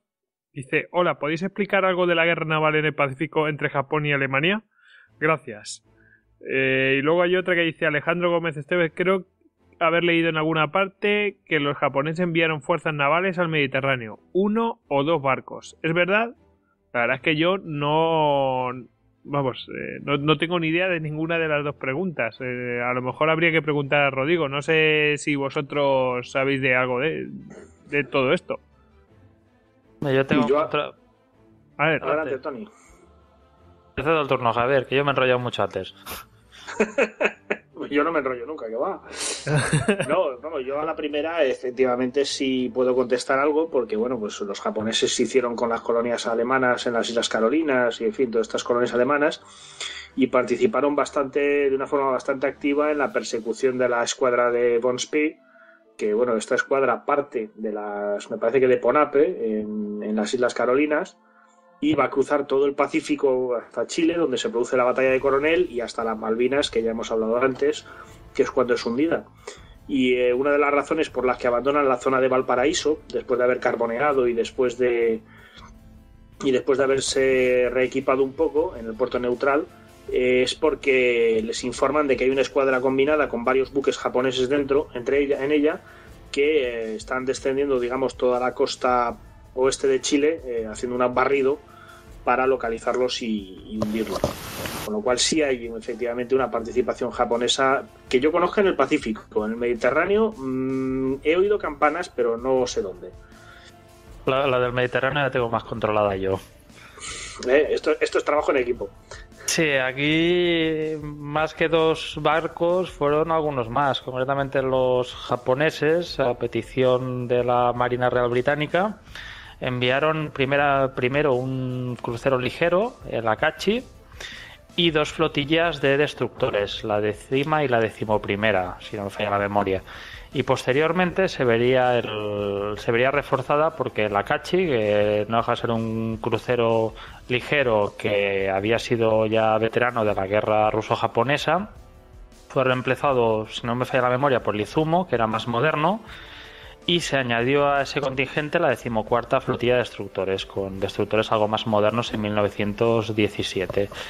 Por lo que he podido leer, era una, no consiguieron hundir ningún submarino, ay, perdón, ningún submarino alemán ni húngaro, pero se, fue, se fueron con muy buena consideración por parte de los británicos, que los, al final los acabaron asignando a misiones de escolta de tropas o misiones muy importantes y con una imagen de mucha profesionalidad. Bueno, pues cosas que hablan bien de los japoneses, ¿no? Eh, en fin, eh, a mí que me gusta mucho la cultura japonesa y tengo mucha simpatía por eso, pues mira, me, hace gracia, ¿no? Que estén ahí en el escenario europeo, pues haciendo misiones y que los europeos los consideren en esa época, fíjate. ¿eh? En fin, em, eh, en, el, en el Índico mm, tenemos varias preguntas. En alguna ocasión he escuchado algún buque alemán en el Índico o en el Pacífico que ponía chimeneas de cartón para simular ser inglés. ¿Qué es cierto de ello? Eso nos lo dice eh, Javier Barriuso de Pedro.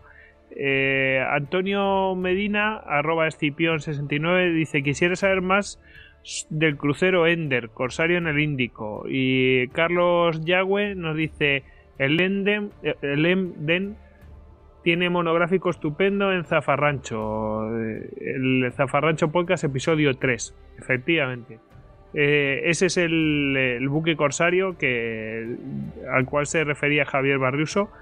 Y bueno, pues ah, hombre, en el Zafarrancho Podcast lo van a explicar pues, más extensamente, pero así mencionar rápidamente que el SMS Enden fue un crucero ligero alemán destacado en Singao que no formaba parte de la escuadra del almirante Graf von Spee, ¿no? que bueno, después tendría eh, el Graf Spee, o sea, tendría un buque propio ¿no? en la Segunda Guerra Mundial, dice que efectuó una notable guerra de corso en el Índico, entorpeciendo las rutas de navegación y hundiendo más de 16 barcos enemigos.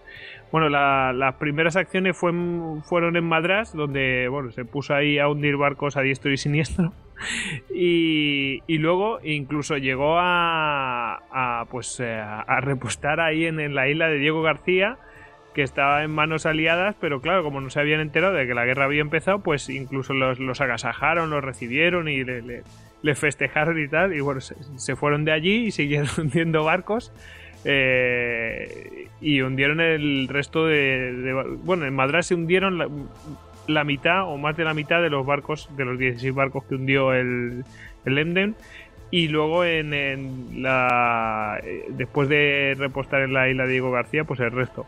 Y luego, pues mm, eh, aquí, aquí me está apuntando Veramendi que hable de, lo, de la isla de los cocos, ¿no?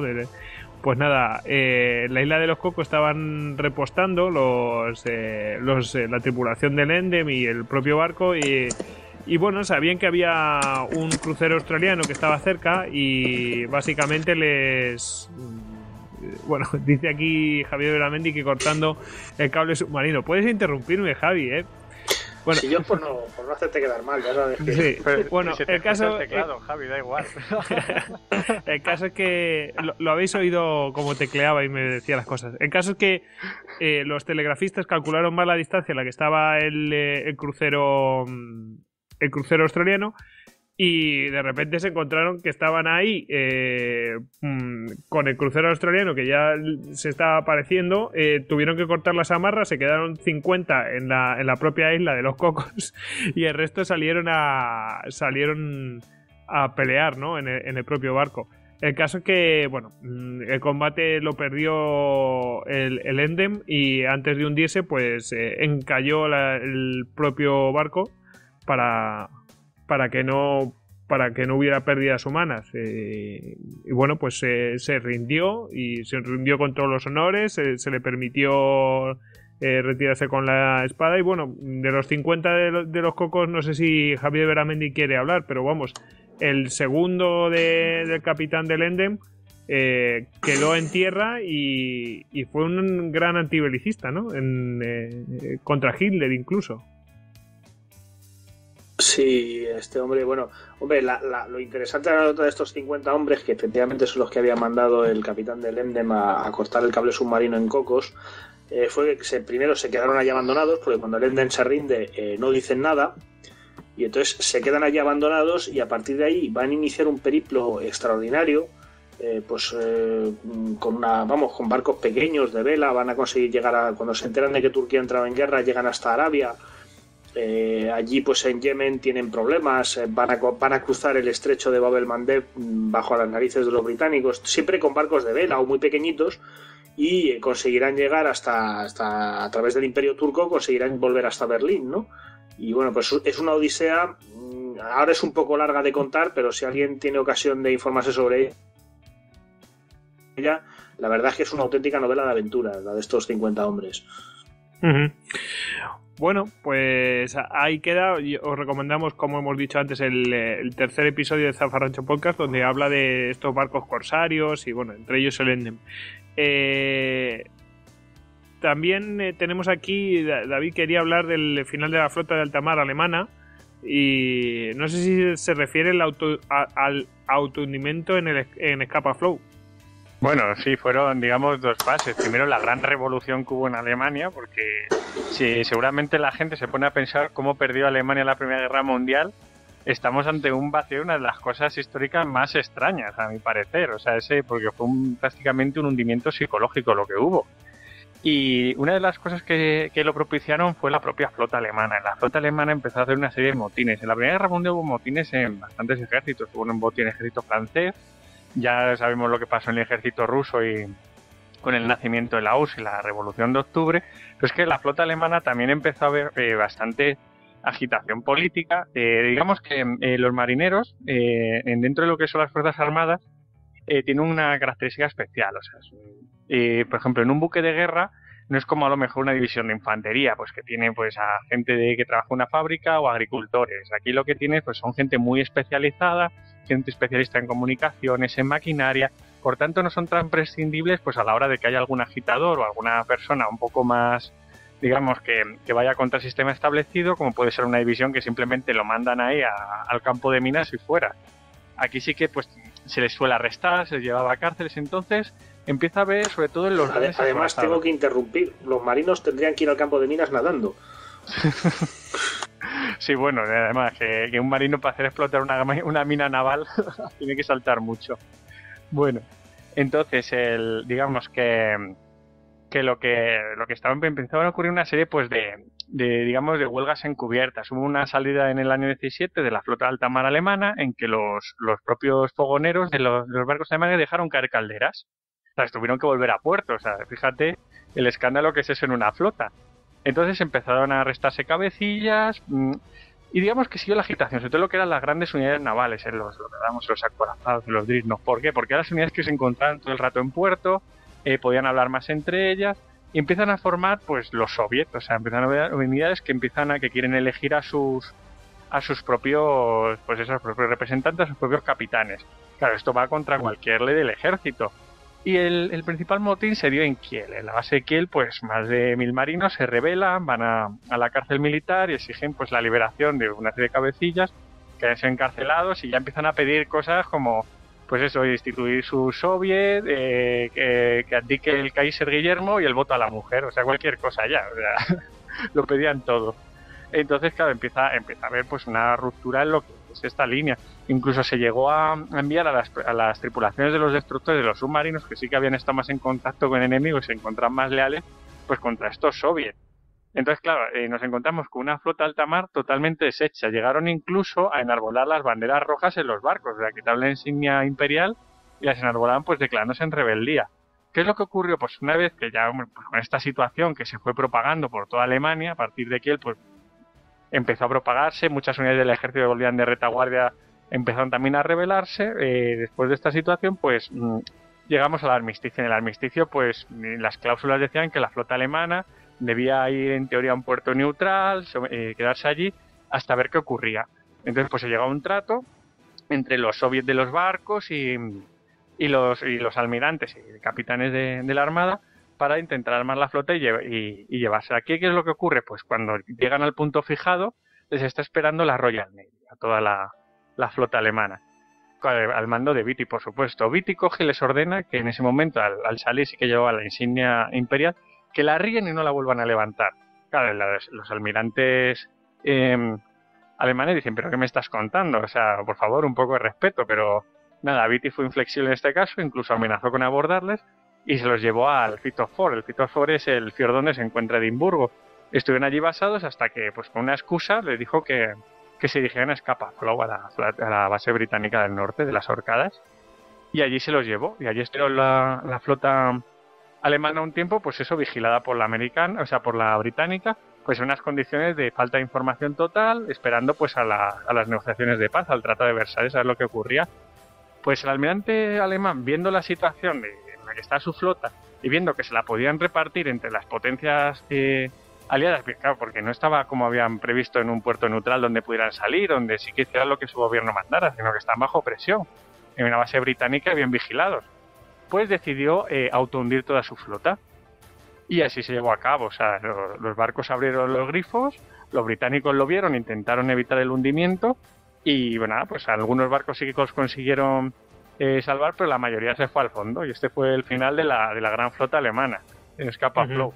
Actualmente sí que es una zona de, de recreo, incluso el, otro día estaba ahí curioseando en, en Google Earth, me metí un poco, tiene el Street View, incluso puedes entrar en tiendas y tienen tiendas con las camisetas de la flota alemana y haciendo bromas de, oh, se me ha hundido la flota y esas cosas, para lo que hemos quedado.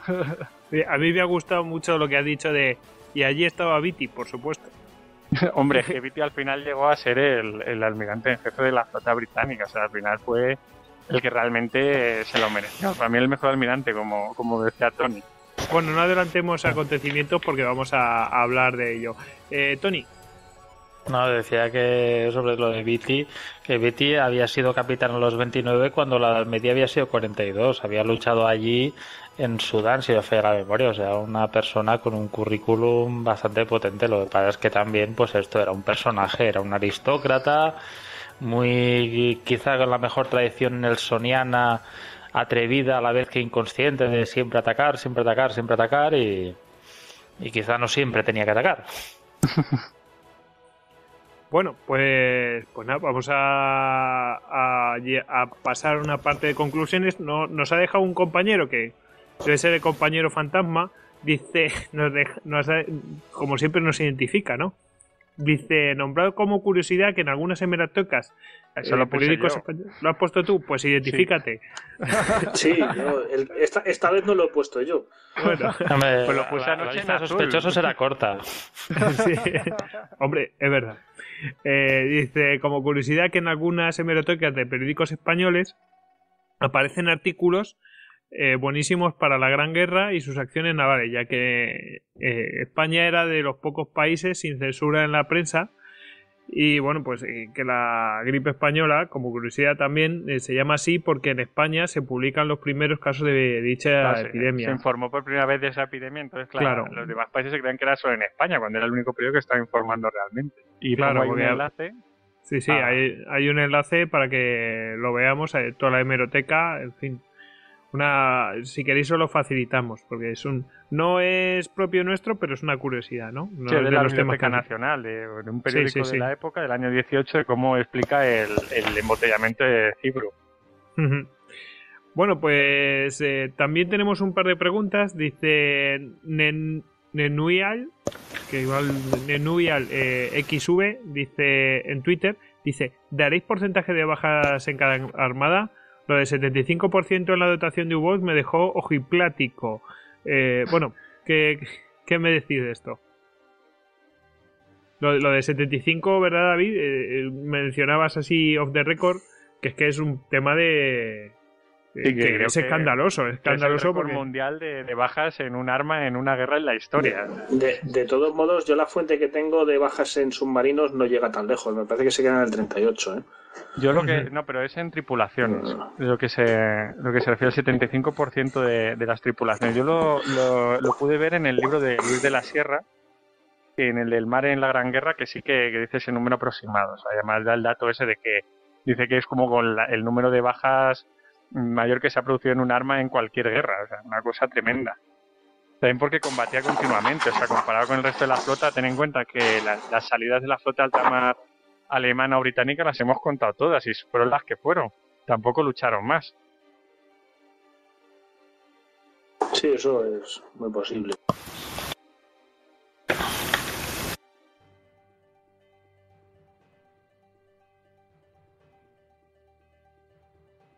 Perdón, que no he puesto el micro.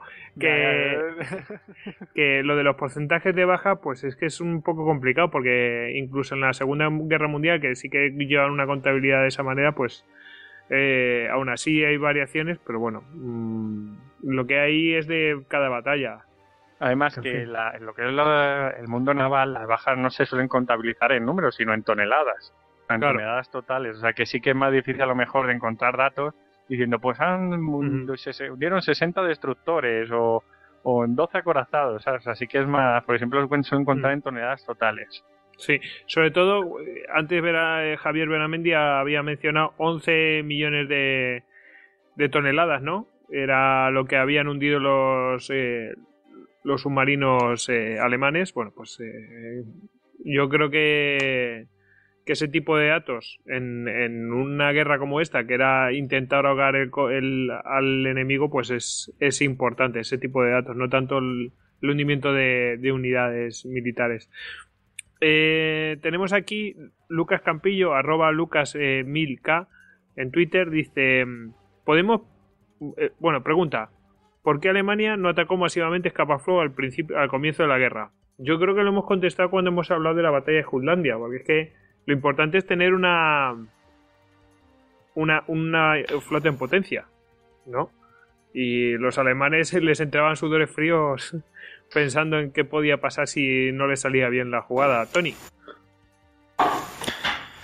No, yo imagino que, hombre, no eran tan inconscientes como para lanzarse contra una flota superior que pese a, con una superioridad tal que pese a tener la ventaja del factor sorpresa, posteriormente se le podrían girar las tornas y quedar completamente eliminada. Yo al menos es mi opinión. Creo que solo en los primeros meses de la guerra tuvo como una ventaja, digamos, en número Alemania, pero muy, muy poquito tiempo. Tuvo ventaja en Dreadnought en lo que fue el escenario del Mar del Norte, hasta que ya empezó a llamar a los suyos Gran Bretaña, que están por todo el mundo. Ah, y los cuatro que le cogió también los británicos a los chilenos y a los turcos. sí, sí. Me parece que entonces se quedaron ya con la superioridad de 2 a 1 con esos cuatro. eh, Javi. No, yo lo que creo que habría que plantear es qué posibilidades tenía la Hoxie Float de llegar hasta Scapa Flow sin que la detectaran. No, en una época en donde, bueno, ya no son las marinas de vela al estilo Nelson, donde una, una flota en el Mar del Norte podía perderse prácticamente del todo, sino que ya estamos en una época donde tenemos los primeros aviones, los dirigibles, eh, los radiogoniómetros, es decir, hay una serie de... El mar, el mar se ha encogido muchísimo y es mucho más fácil localizar la presencia de una flota en el mar, ¿no? Bueno, tenemos la última pregunta de Juan Carlos Arias eh, Menéndez. Eh, dice, ¿quién fue el mejor y peor general? Yo creo que se refieren a comandantes o almirantes de los dos bandos. ¿Qué, qué me decís? Aquí ya podemos hablar de, de Jellicoe y compañía. Venga, esto es ya libre, venga. Pues yo creo que por mí diría que el mejor británico Viti y el mejor alemán, eh, pues es Sir, es Sir porque sí que supo por lo menos en, Jutlandia, a pesar de sus maniobras de para adelante para atrás, eh, sacar de allá a la, flota alemana. Es mi opinión. Y Jellicoe no era malo, o sea, de hecho él no quería ni el mando de la gran flota británica, porque era más, digamos, un segundo, un tío de logística que un verdadero comandante decisivo y, simplemente se limitó en Jutlandia a, mantener el status quo entre las dos armadas, a no arriesgar la suya ni tampoco intentó a fondo eh, destruir a Alemán, sino que en plan de meteros en vuestro cubil y fuera.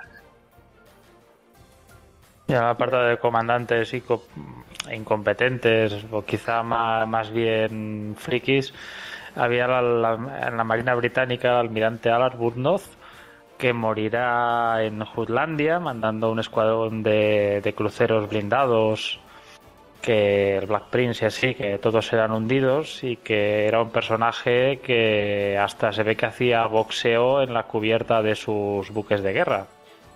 Más de alguna vez había resuelto las discusiones allí a torta limpia.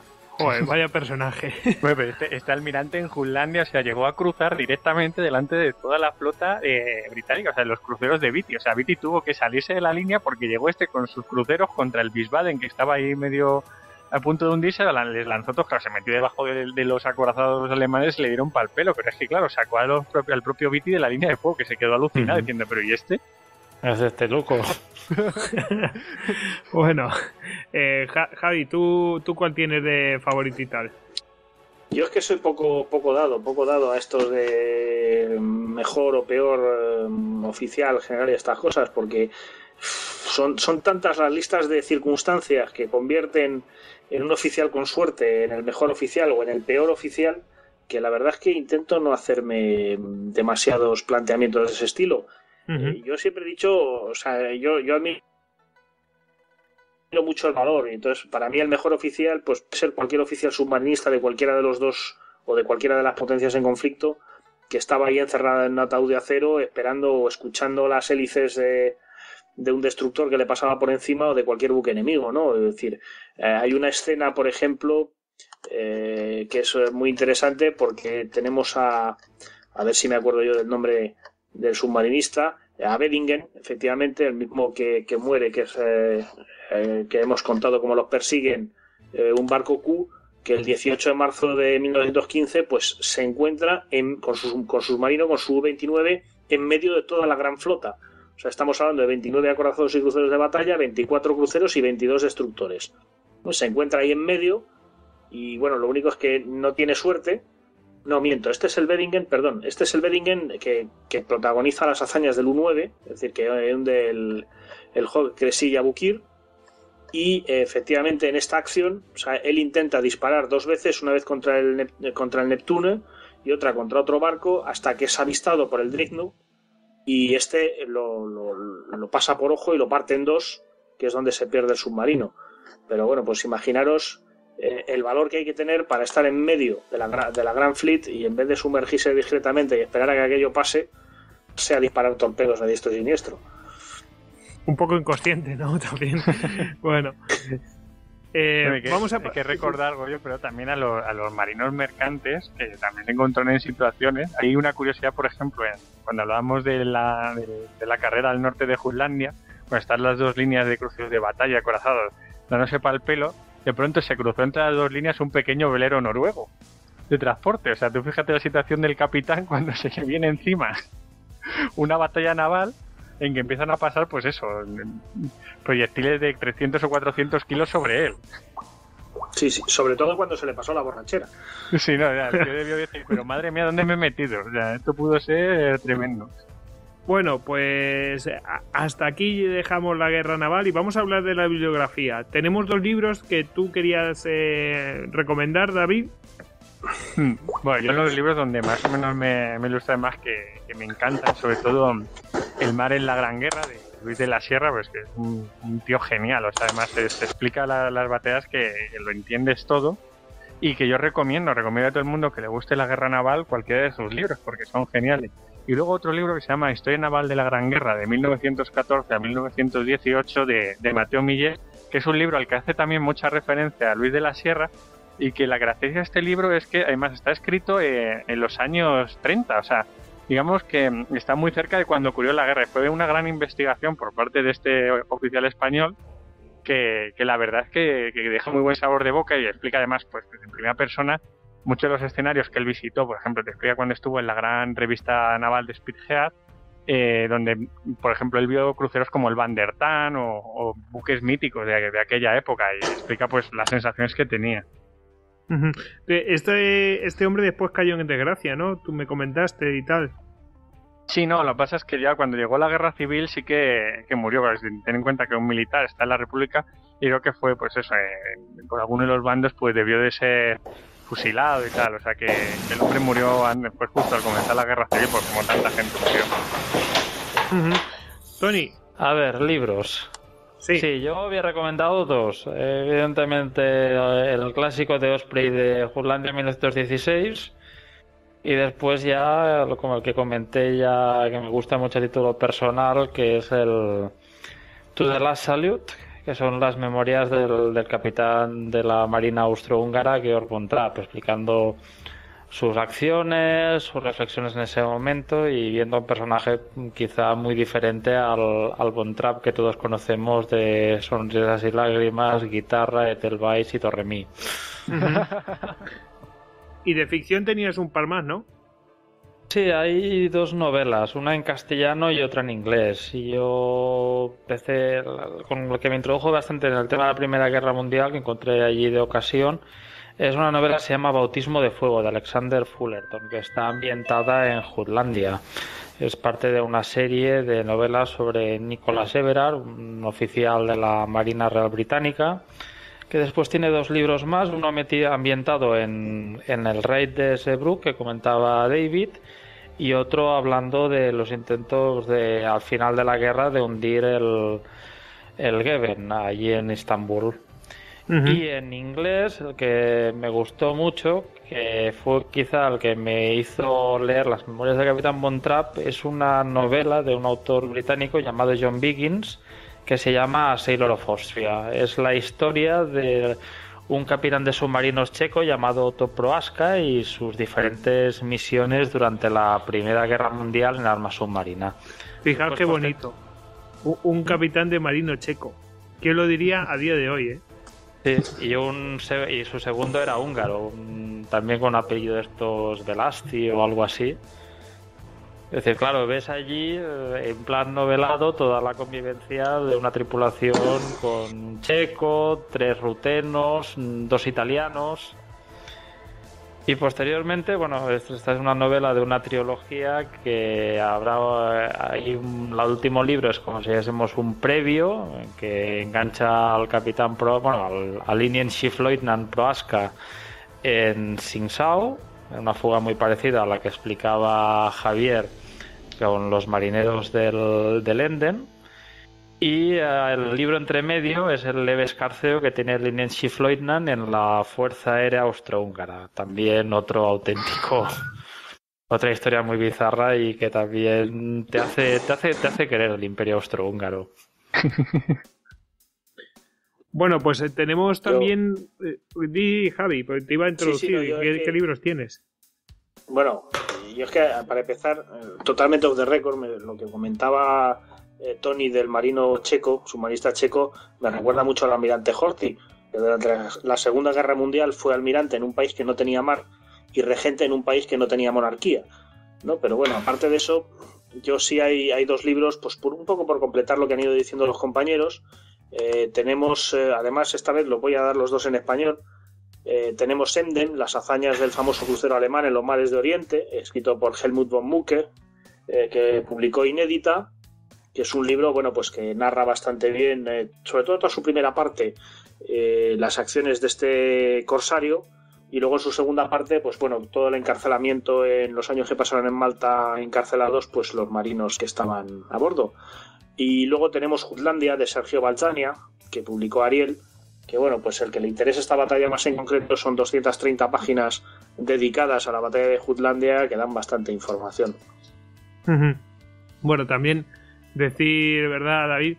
Que bueno, que de Jutlandia en inglés habrá lo que no está escrito, ¿verdad? Bueno, eh, es que en inglés tienes, o sea, ya está, libros eh, técnicos monográficos de los acorazados de batalla, de los destructores, los submarinos, de todo, de todo. O sea, ya hay bastante información, sobre todo británica, porque creo que fue una de las, de las guerras donde, digamos que tenían una de las flotas más importantes y como resultó victoriosa, pues le han hecho mucho la pelota.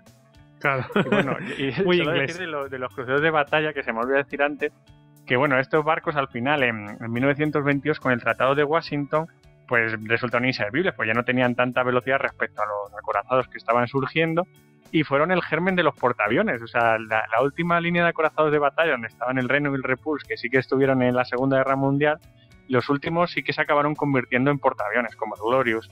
Y decir pues que eso que la Segunda Guerra Mundial también siguieron con la tradición de la primera de, explotar de un solo tiro como le pasó al Hood frente al Bismarck. Muy inglés. Bueno eh, Tony también añadir que en el capítulo de, memorias que tanto estuvo en moda si buscáis por Google hay una web en la que puedes encontrar todas las, las memorias que escribió el almirante von Scheer explicando toda la operativa de la flota de alta mar alemana, las decisiones, por qué lo tomó, las batallas desde su punto de vista. Y también hay otras memorias muy interesantes que si hubiera estado aquí Hugo supongo que las habría comentado, pues las hablamos allí a nivel de WhatsApp, que son las de Feli, el conde Félix von Luckner, que es fue a bordo de un velero, estamos hablando así, un velero, el Seatler, se lanzó en una misión de corso contra las flotas aliadas y tiene momentos no le he dado a leer, he buscado un poco allí sobre ellos y bueno, tiene historias graciosas como el momento en que el velero enmascarado como buque noruego es abordado por un trozo de abordaje británico para inspeccionar el buque y en el camarote del capitán se encuentran pues a una chica que en realidad es un marinero disfrazado tapándose la boca con peluca que no puede atender a los británicos porque tiene una infección de dientes y un dolor de muelas impresionante, Y bueno, los británicos, evidentemente, en vez de bueno, en vez de ser corteses y ofrecerle los servicios del dentista o del médico de a bordo que hubieran echado al traste la, el engaño, mm, decidieron no molestar a esa dama en apuros. en fin. Eh, bueno, tenemos aquí, nos han hecho una pregunta un poco inusual, ¿no? Eh, porque nosotros no nos dedicamos a esto, pero como ya nos habían preguntado anteriormente, yo qué sé, de, temas de la edad de la vela y cosas de estas, pues bueno, eh, tenemos juegos, ¿no? Vamos a hablar un poco de los juegos. Dice Carlos Yagüe, una portada de los juegos de PC multijugador que están en el horno. Fuerzas navales del War Thunder, World of Warships, estaría muy bien. Eh, maniobras en T, tiro naval, en fin. Tú aquí, Tony, habías apuntado uno, ¿no? Bueno, yo que he apuntado no es de PC, es de tablero. Es el, el juego de Avalanche Press, que, es el Great War at Sea. Que es un, lo he dicho, un juego de tablero, de estrategia naval, tanto estratégica como táctica con toda una serie de módulos. El de Jutlandia, que cubre Jutlandia, también tienen uno ambientado en el Mediterráneo, en que se ve la flota, flotas italiana y austrohúngara, y hasta incluso hay escenarios hipotéticos con una intervención española. Y bueno, a nivel de videojuegos, no, ahora mismo de cabeza no me viene nada, no sé vosotros. Mm, no, es que es un tema, no son los típicos juegos a los que más generalistas, ¿no? Eh, yo conocía, por ejemplo... Yo, naval no hay. ahora mismo me ha venido el Flash y HPS Simulations, que hace pues, juegos de turnos y así, sacó uno de sacó uno ambientado en Jutlandia. Ahora me ha venido el...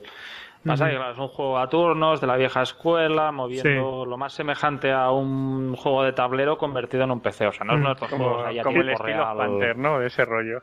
Sí, de, ese estilo. Es que el problema de, hacer un juego táctico, ahora con el multijugador pues hay más posibilidades, pero el problema de hacer un juego táctico es que antes, cuando funcionabas en eh, jugando tú solo contra la máquina, ¿cómo manejabas una flota entera? La máquina sí puede manejar varios uh, barcos y tal. Y yo conozco un par de juegos, por ejemplo, el Age of 6.1 y el Age of 6.2, que, pues sí, podía llevar una flota, pero claro, ¿cómo manejabas una flota entera con 20 barcos? Emulaban la batalla, por ejemplo, de Trafalgar o de San Vicente.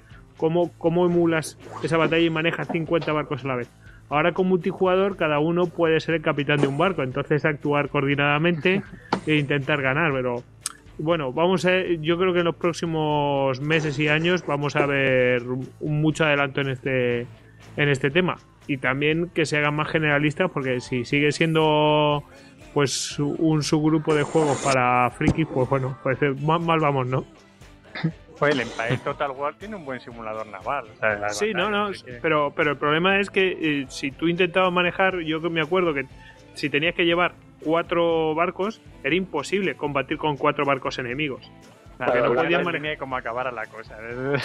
es que muy la definición es que tú puedes hacer una cosa por vez, pero el ordenador no. Puede hacer Claro, exactamente. Entonces, tú no puedes manejar los cuatro y tal independientemente. Bueno, de Tony.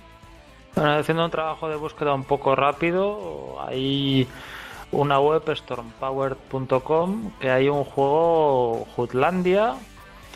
Parece, bueno, tiene bastante buena pinta de Storm Miguel Studios. Eh, se ve que este. Me sonaba haber visto algún vídeo en YouTube de alguna partida de estos y es más, por lo dicho, a tiempo real, no, no tanto a turnos. Pues mira, eh, yo creo que en, este tema, como a nosotros nos supera un poco, porque algunos ya estamos retirados de estas lides, nos vamos a, remitir a los de nuestros amigos de LODE, la órbita de Endor, y vamos a remitirles también a Diógenes Digital, que bueno, que tratan estos temas. Entonces, seguro que ellos van a saberlo responder mucho mejor. Eh, los, eh, en, eh, en, Twitter los podéis encontrar arroba la órbita Endor, en un caso, y el de Diógenes Digital, os lo digo ya, pero creo que también es arroba Diógenes Digital. A ver. No, es Diógenes Digital 1. Bueno, ha, llegado la hora, pues nos lo están indicando. Así que. ya la, campana de la guardia de mediodía. Sí, sí, sí. Vamos a despedirnos.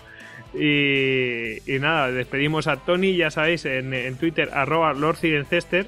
Despedimos también a Javier Veramendi, arroba Tamtam Veramendi, que también lo podéis encontrar en grupo de estudios de historia militar, gen.es. Y despedimos también a David, arroba David Nagan en Twitter. Bueno, blup, blup, blup. Vamos a despedirnos. Inversión. Inversión. Venga. A despedirse Adiós. todos. Se ha notado, ¿no? Adiós. Chao, chao. que ustedes lo naden bien. Eso, sempre filéis.